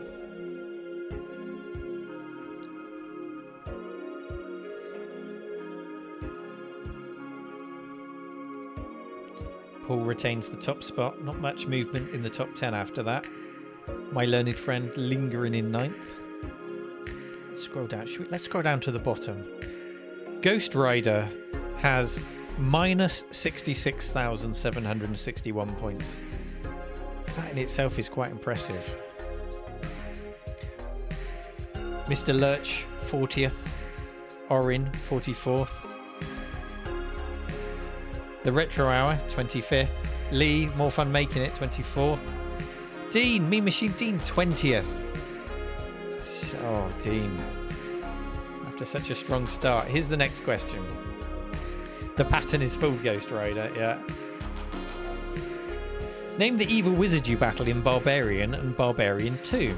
Drax, Klax, Terramex, Anthrax. Amazing Pillock, thank you for subscribing.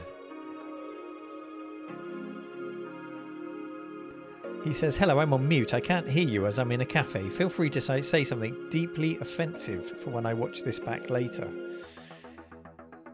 I couldn't say anything offensive to you, Pillock, but I hope you're having a nice lunch and uh, I hope your walk is going well.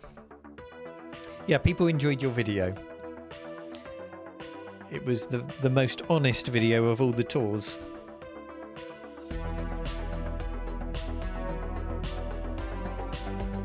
The answer was Drax. Six of you went for Klax, which was an Atari game. Um, did Klax have two X's in the? I can't remember now. Uh, Terramex was a game which was on some 8 bits and the Acorn Archimedes, and Anthrax is Anthrax. There's probably a game by that name. Darwin 79 was the quickest on that one. Pajako retains the lead. Ian is sliding up to seventh. There's Dean. I'm keeping an eye on Dean. Can't even see him anymore. I think he's rage quit. I think Mean Machine Dean has rage quit. Cats and dogs living together. Thank you so much for subscribing. Okay, next question. There are 20 in total. How many tracks are there in hard driving? Two, six, four, one.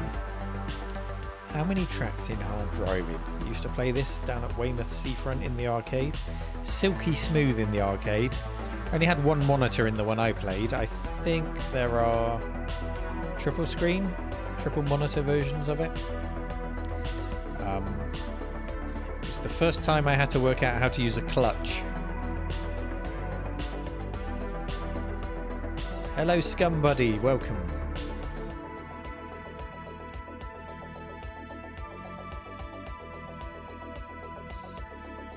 We played it in Swanage. That wasn't far from me either, Swanage.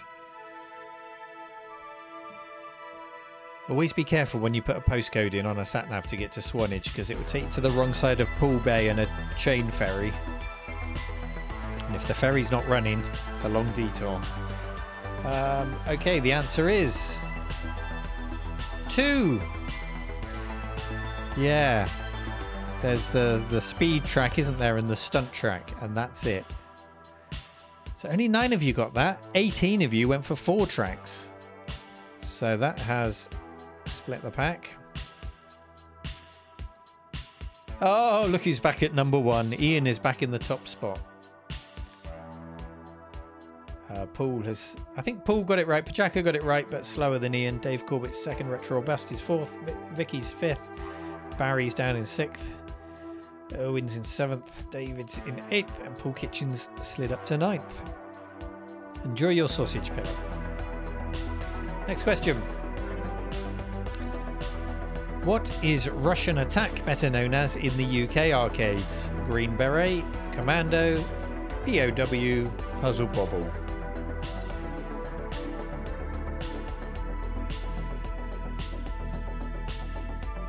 This is one that I didn't learn until I was an older teen, had a different name outside of the UK. I always knew it as we knew it here.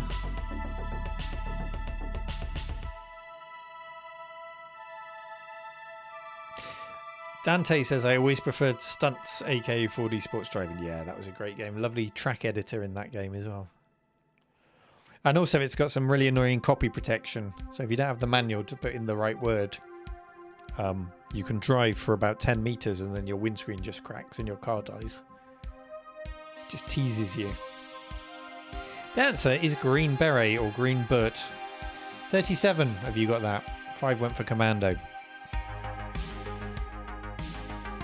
Uh, Ian says, I'm sure there was an 80s movie with Russian attack arcade machines in, but he can't remember which one. Hmm. Retro or Bust was quickest on that one. Ian is the first to break 200,000 points and retains the top spot. Let's go on to question 10. We're about halfway through the quiz now. Um, the people in the top 10. Yeah, you're doing well. Jess's tech department is in 15th. This is very competitive. Could be anyone's game. Next question. Who makes the Stun Runner and Hard Driving arcade games? Sega, Namco, Atari, Williams. Hard Driving again. What other good games were there like Hard Driving? Uh, 4D Sports Driving is the obvious one, or Stunts.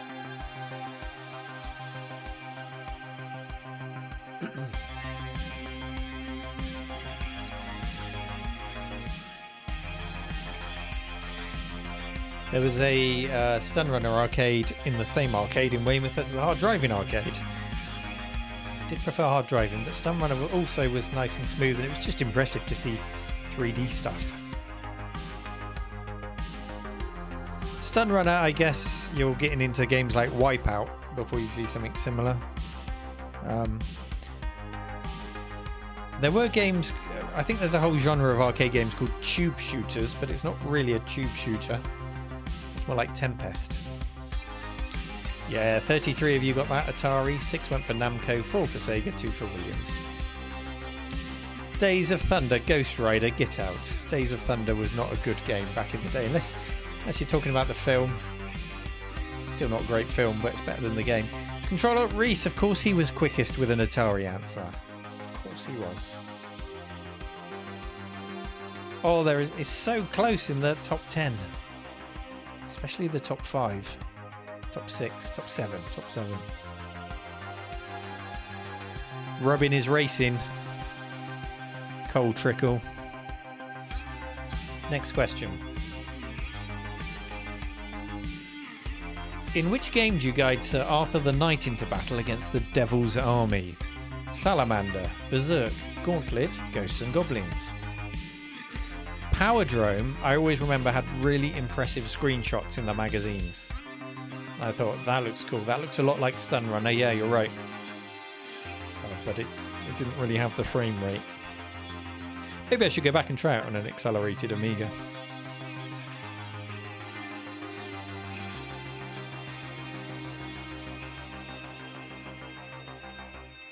Oh no, Lee's been thwarted by the adverts popping up at the bottom of the screen. Shock him. The answer is Ghosts and Goblins. 47 of you got that. Four went for Gauntlet, one went for Salamander. Yeah, that was pretty easy, I think. Who was quickest? Or your base Chris Retro. He was the quickest on that one. Ian's still the top. I, you, I know you're going to slip up, Ian. I know you're going to slip up. You've got so many people snapping at your heels. Okay, next question. Question 12. Who makes the CPC 464? Amstrad, Sinclair, Acorn, Tatung.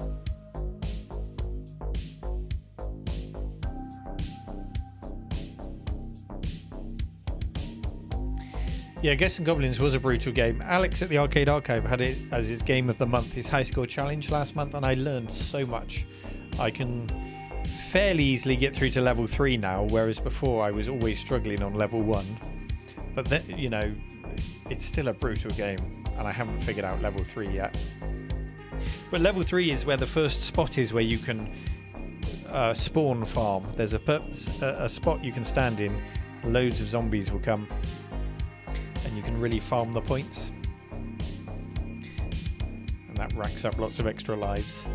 Um, come on, you all know the answer to this. 52 of you went for Amstrad. One of you went for Sinclair. I don't know if you thought it was a trick question or if you're just going for the worst score possible.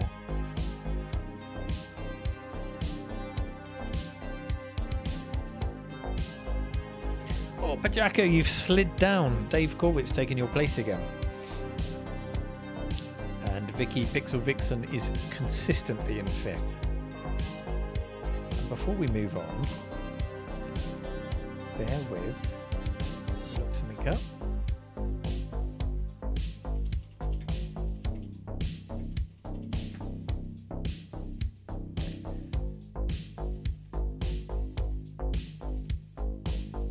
There we go. We've given everyone else's channel a shout out. There is a link to Vicky's channel, Pixel Vixen in Japan. Click it, click subscribe, and you can follow um, Vicky's artistic talents, but also her journey into living in Japan. You, you must have been there for over a year now. Um, yeah, go follow Vicky's life, the ups, the downs.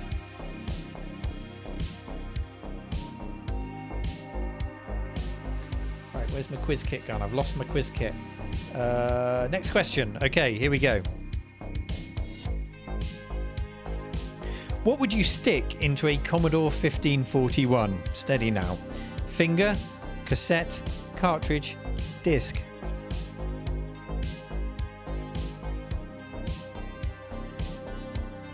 Just to reiterate, I don't write the questions or the answers. I took them from the magazine. yes.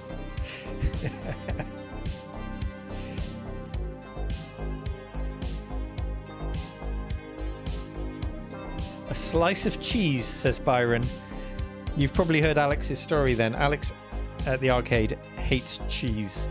And when he was a kid, he used to be given slices of cheese and he would put them in the slots at the back of the family TV set until one day the TV stopped working. When the repairman came out, he found it was full of melted cheese.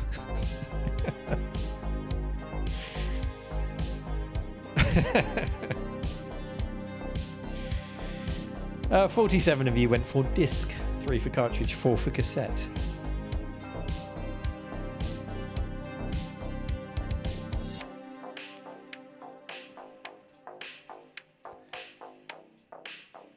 Reese was quickest on that one.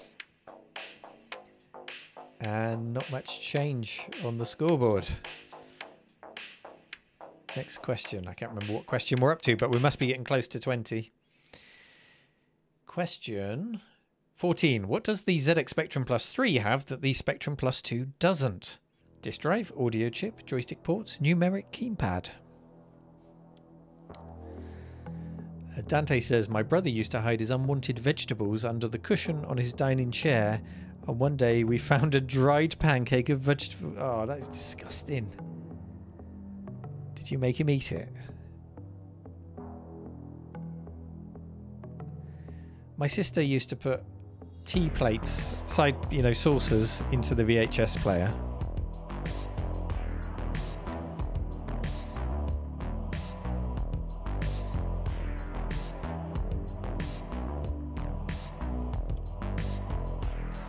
The answer is disk drive.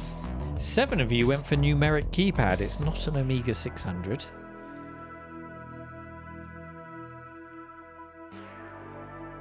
Chris says, I killed my brother's VRC by spilling, sorry, VCR, yes, VCR by spilling Fanta in the back. I denied all knowledge as the repairman said it was Coke. I never spilled Coke in it, only Fanta. He's got off on a technicality there. Oh, it's all change on the scoreboard. Ian has slipped up there, down to seventh.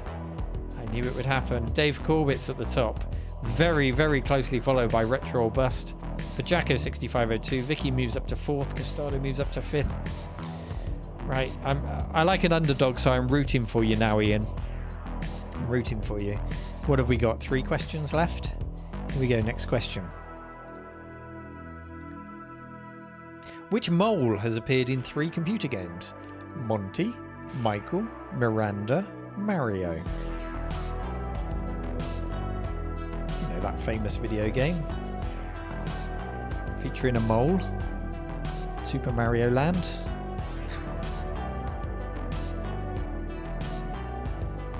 Mario Mole.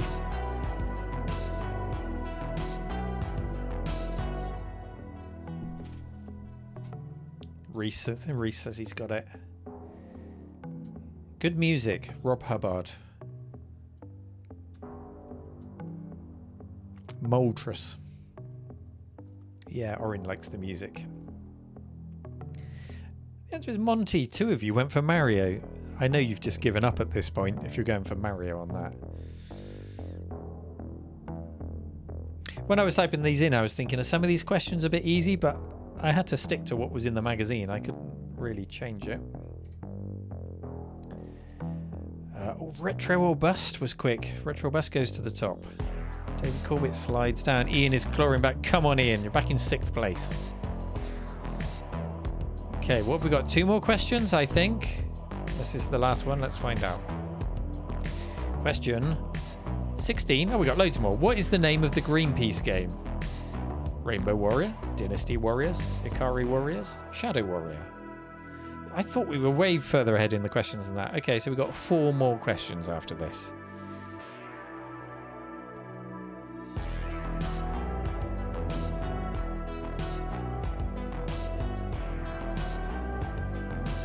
Oh no, Vicky's clicked the wrong one. And she was uh, in the contest for first place. Paul's having trouble. I guess I don't remember the game, but I know the name because of what Really Minty's just said. It, they used the same name for their boat. 50, yeah, 53 of you got that, so quite a lot of you knew that. You got it, Paul. You got it.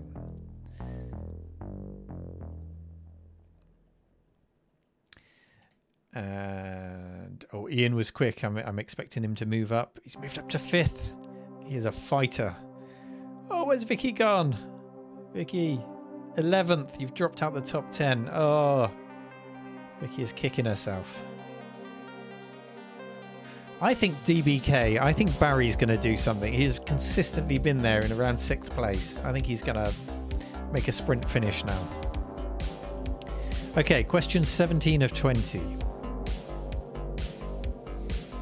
What should Continental Circus have been called? Continental Connection, Continental Drift, Continental Circuit, Continental Breakfast.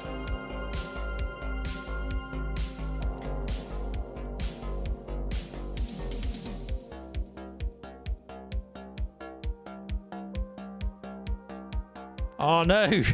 Pajaco's misclicked.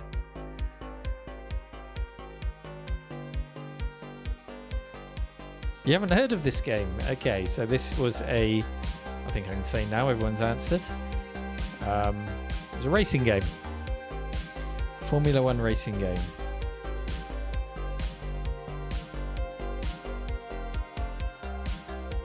Yeah, there were quite a few good home ports of it.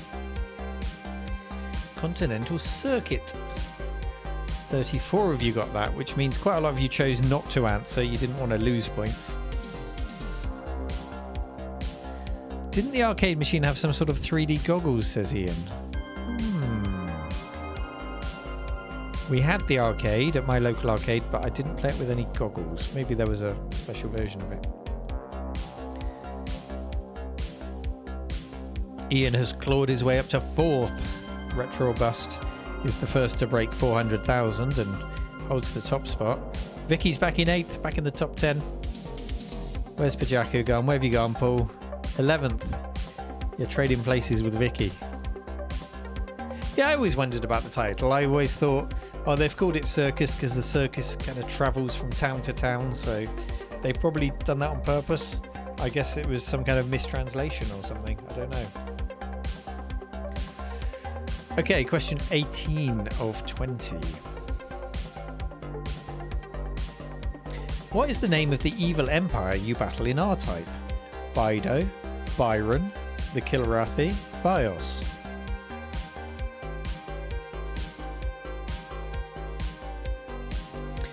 Yeah, I was thinking of you, Hasbeard, when I put this answer in.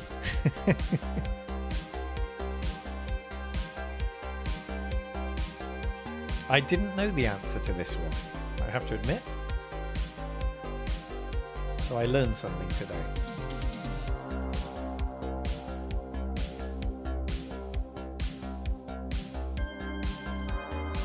Yeah, Tim spotted something, Wing Commander.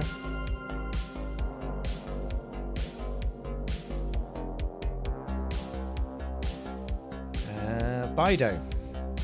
the Kilrathi is Wing Commander. Byron is Hasbeard plays games in chat. Bios is actually the enemy in is it Forgotten Worlds?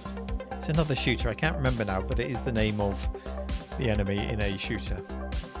Not just Bios, Bios. Byron was the quickest. And not a huge amount has changed. Ian's oh Ian's slipped down to sixth. Okay, we've got two questions left. I think it's really between. Oh, it's hard to say. I'm going to say anyone in the top five, maybe the top eight. Because between them, it really comes down to speed, and one wrong answer is just going to take you completely out of contention.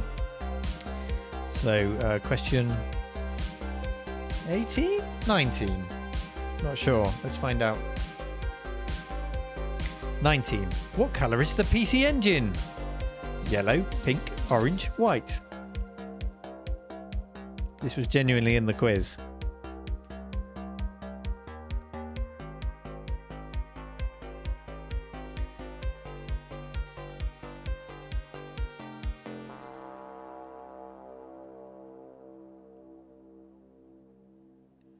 it could be yellow now, says Pajake. Lovely shade of mauve, says Kosam.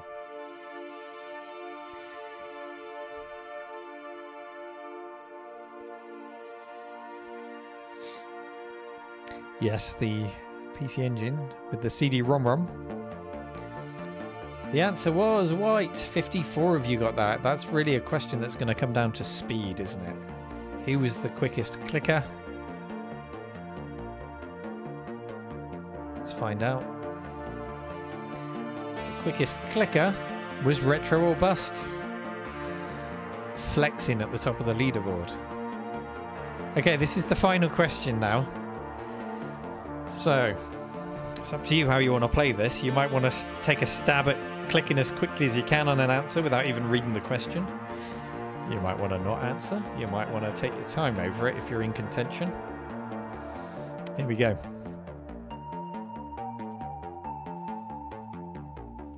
How many Batman games have appeared on the Spectrum and Amstrad? One, three, two, four. Oh, it's a tricky one.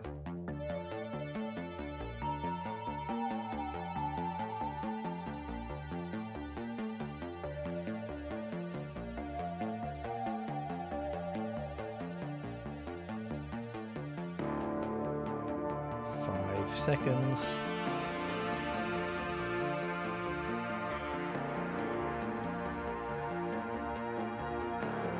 Dante's regretting guessing. Should have just left it.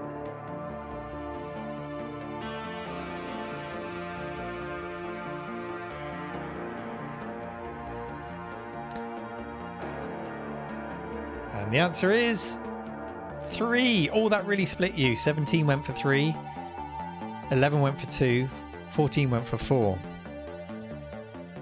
So, as I recall, on the 8 bits, you had the Caped Crusader, which was the comic book one, you had the isometric one, and you had the movie. I can tell you now, the quiz was from January 1990. So, Batman the movie came out in 89, didn't it? Because I was saying 89 90 before. I didn't want you to find the exact magazine. Ready for the final results? Suspense.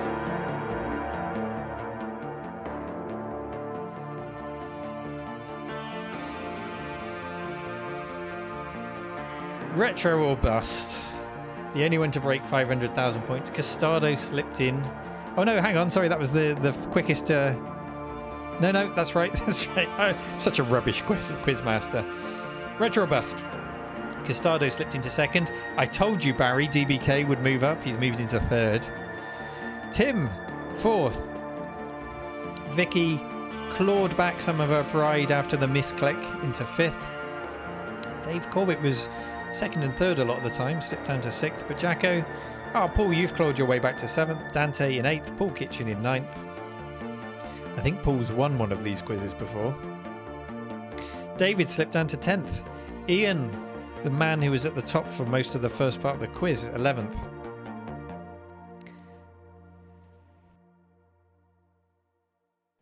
Um, Chris, 22nd. Togster, 18th. Mean Machine Dean, 30th. We can't be friends anymore. What's happened, Dean? Orin, 36th. Mumbo King, 40. Let's go down. Let's go. The Retro Hour, 55. I think Barry just. Uh, Barry, I think Ravi got distracted. Um. And I'm not going to read out the person who came last in 68th because it's a name that would have come out of a Simpsons episode. Well done, everyone. That was fun. Oh, hello, Dave. Hope you're hope you're doing well.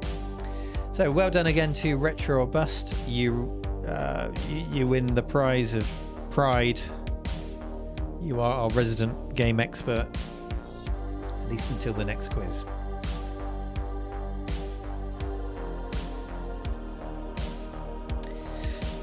Ah. Thank you to Ross for following and Kurjan73 for following. So we'll just wrap up the stream with a magazine like we normally do. Um, today we're going to read MIDI Magazine, Atari's Music Technology Quarterly. okay, Tim. Featuring the Atari Stacy. We're not really. But look, MIDI Magazine. Atari on page two. Atari on page three. Atari on page four. Hang on. Uh, Atari on page five. Atari. Atari. Atari. Yeah, all Atari all the time. That's right, Minty. And I did see Retrobust um, made a request, a shout out for his channel for winning the quiz. I think that's only fair, isn't it? Just get a link.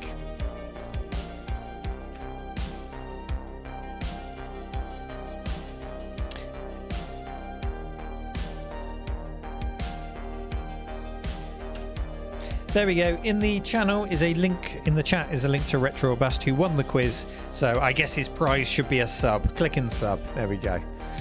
Let's get back to um, MIDI magazine. No, we're not. We're not going to read MIDI magazine. Just made me laugh when it popped up. Um, so CMVG January 1990 is where the quiz came from. And uh, in the quiz, it's quite nice because whoever owned this back in the day had written their answers in. It's very hard to see because it's blue ink on blue paper. Yeah, they had put their uh, answers in there. Uh, they didn't do great. They got quite a few wrong. Um, they didn't know the name of the C64's sound chip. There were 60 questions, by the way, 63. I didn't put them all in. They didn't know which video game stars Bin and Pin. Anyone know that? Because they haven't answered that one.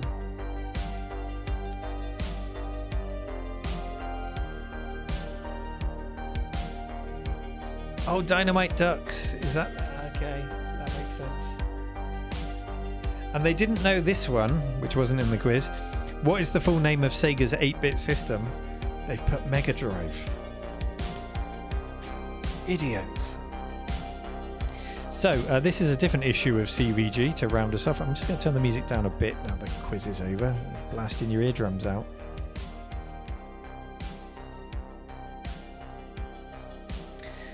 Um, I wanted to just read the news page, which was on page 12. Oh, there's Jonathan Ross there. UK PC Engine is go.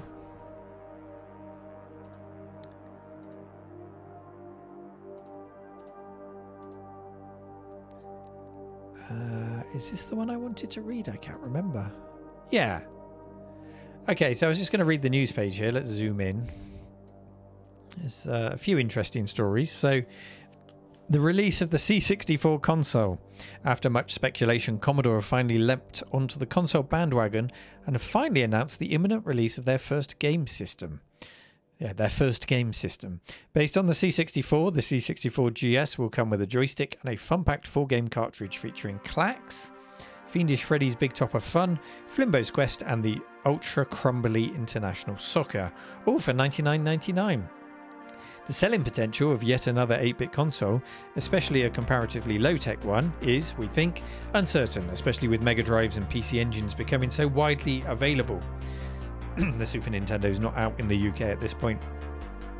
But we'll be interested to see how this and Amstrad's GX4000 featured last um, issue fare. You can see what the picture looks like from the picture. That's a, there's a sentence. You can see what the console looks like from the picture. But we have it on good authority that the machine shown is actually made of, wait for it, balsa wood. Maybe Commodore are branching into new areas, or could they be barking up the wrong tree? Leave it out. Yeah, balsa wood prototype. Well, we know how that story ended. This went the same way as the GX4000. Next story. Yeah, top punnage. Next story cabinet craziness. Making a Spectrum look like an arcade machine is no mean feat these days. But Spectrasoft's new Pro Arcade cabinet just about manages it. Your computer, be it Amiga, Spectrum, or console, can be placed in a slide away shelf with the cabinet and connected up to its arcade quality joysticks for that ultimate coin up look and feel. If you don't want to plug in your computer, there's also a JAMMA compatible version which allows you to plug in and play JAMMA. Sort of coin up standard. That's interesting because that means the whole cabinet becomes like a super gun. Or, hang on, Neil, what are you saying? Or an arcade cabinet. it's an arcade cabinet. What am I saying? Um, if that's not good enough for you, advanced modular joysticks can build you a cabinet that will plug into any computer or arcade board. Uh, and it goes on. Priced at prices range from 159.95 to 299.95. Now I couldn't find this. I couldn't find this, but I could find something similar in the very same magazine. Um, I think we need to scroll to page 50. I think I saw it.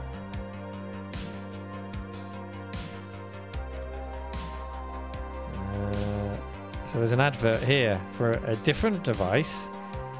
Cybertech. Was it Cybertech? I can't remember, but it says official launch the amazing Budget Boy arcade cabinet and the fabulous Universal Energizer. So there's the cabinet. Look at that, the Budget Boy. A Budget Boy is that's not a great name for a cabinet, is it? Um, would you have wanted that? It's easy to laugh at, but a younger me probably would have looked at that and gone, I want that. Is it wide enough for my Amstrad CPC 464? Probably not. Yeah, an arcade cabinet shaped computer desk. Budget Boy, how many times have you cried, I want an arcade machine? Well, here you are. This has got to be the ultimate add on. You can put your own TV or monitor in, your own console or computer, slap your joystick in, and away you go. Heaven. There's even shelves so you can put all your games on, and even an amplifier to connect to your machine. And guess what? Budget Boy has also been designed to take the Universal Energizer. So if you really want to play arcade games, buy both. Universal Energizer being the joystick next to it there. That doesn't look bad, the joystick.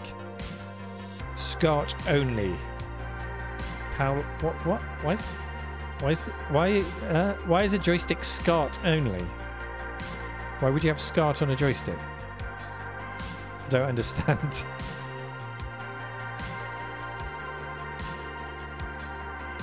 yeah, that's weird. And the joystick costs more than the cabinet. Yeah, you're right. Let's get back to our news.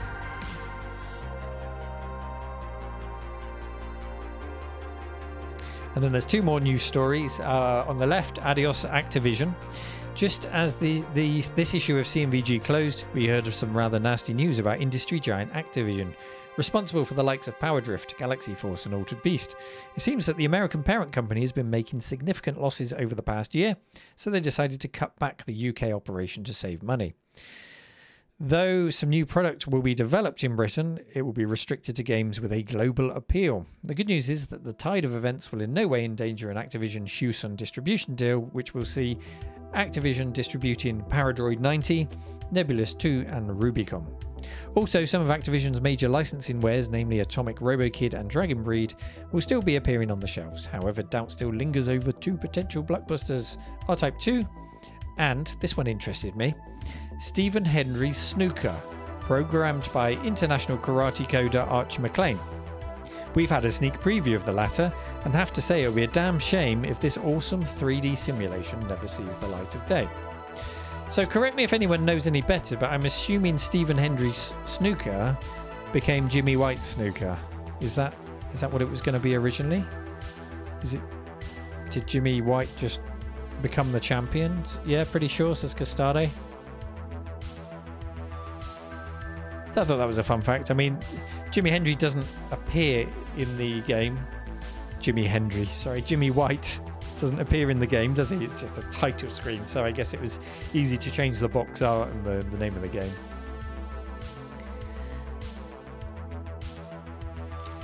Uh, DBK says Jimmy White always lost to Hendry. Reese says Jimi Hendrix is snooker. Jimi is snooker is a very different game. Uh, how can you work a Jimi Hendrix pun into a into snooker or vice versa?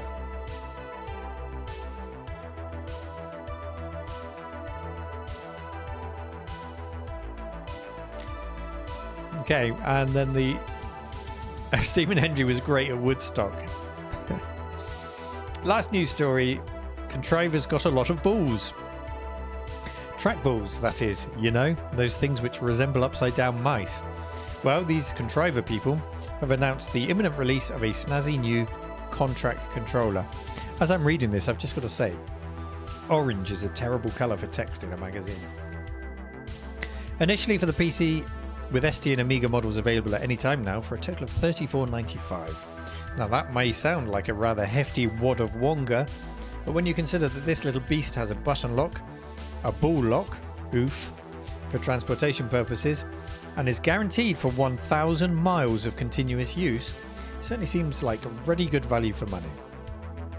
If you're interested in laying your hands on one, the contriver can be reached at. Oh, they've just given a phone number.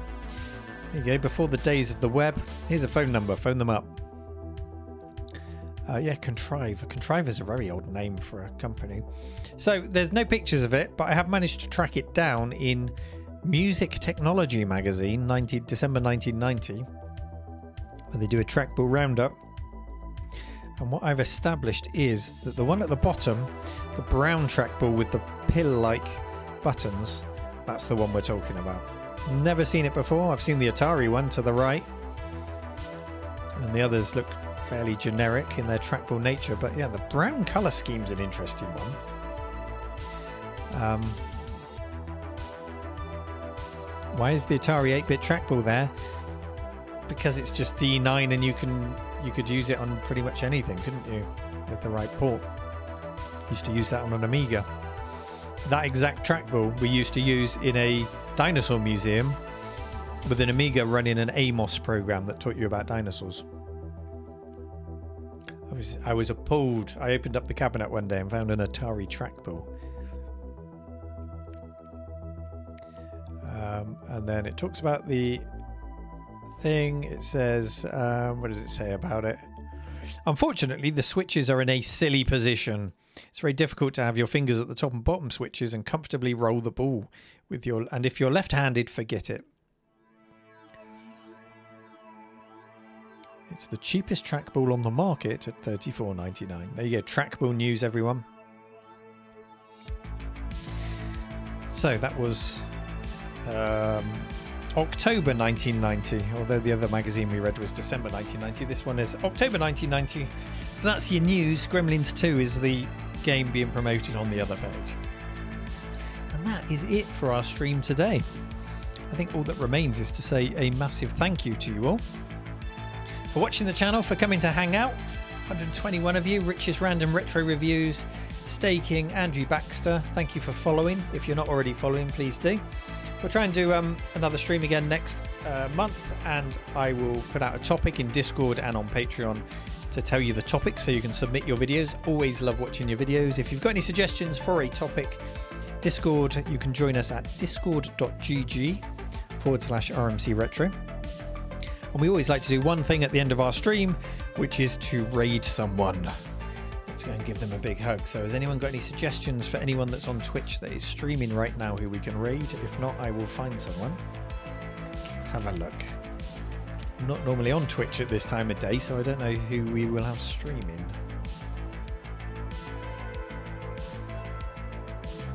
Oh, you're welcome, Chris. I'm glad you enjoyed it.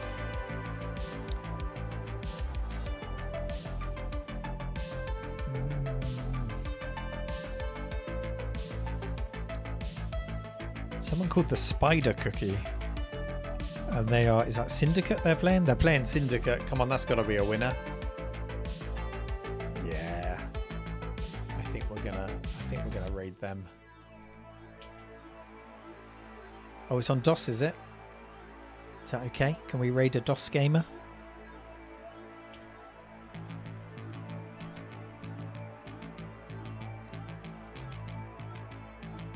I mean, they've got 83 viewers. I'm always happy to raid someone with uh, not many viewers just to make their day if you've got someone in mind.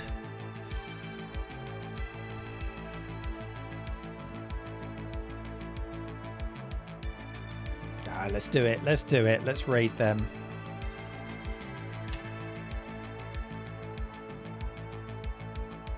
Loading you all up, ready to go. 63, 73, 77.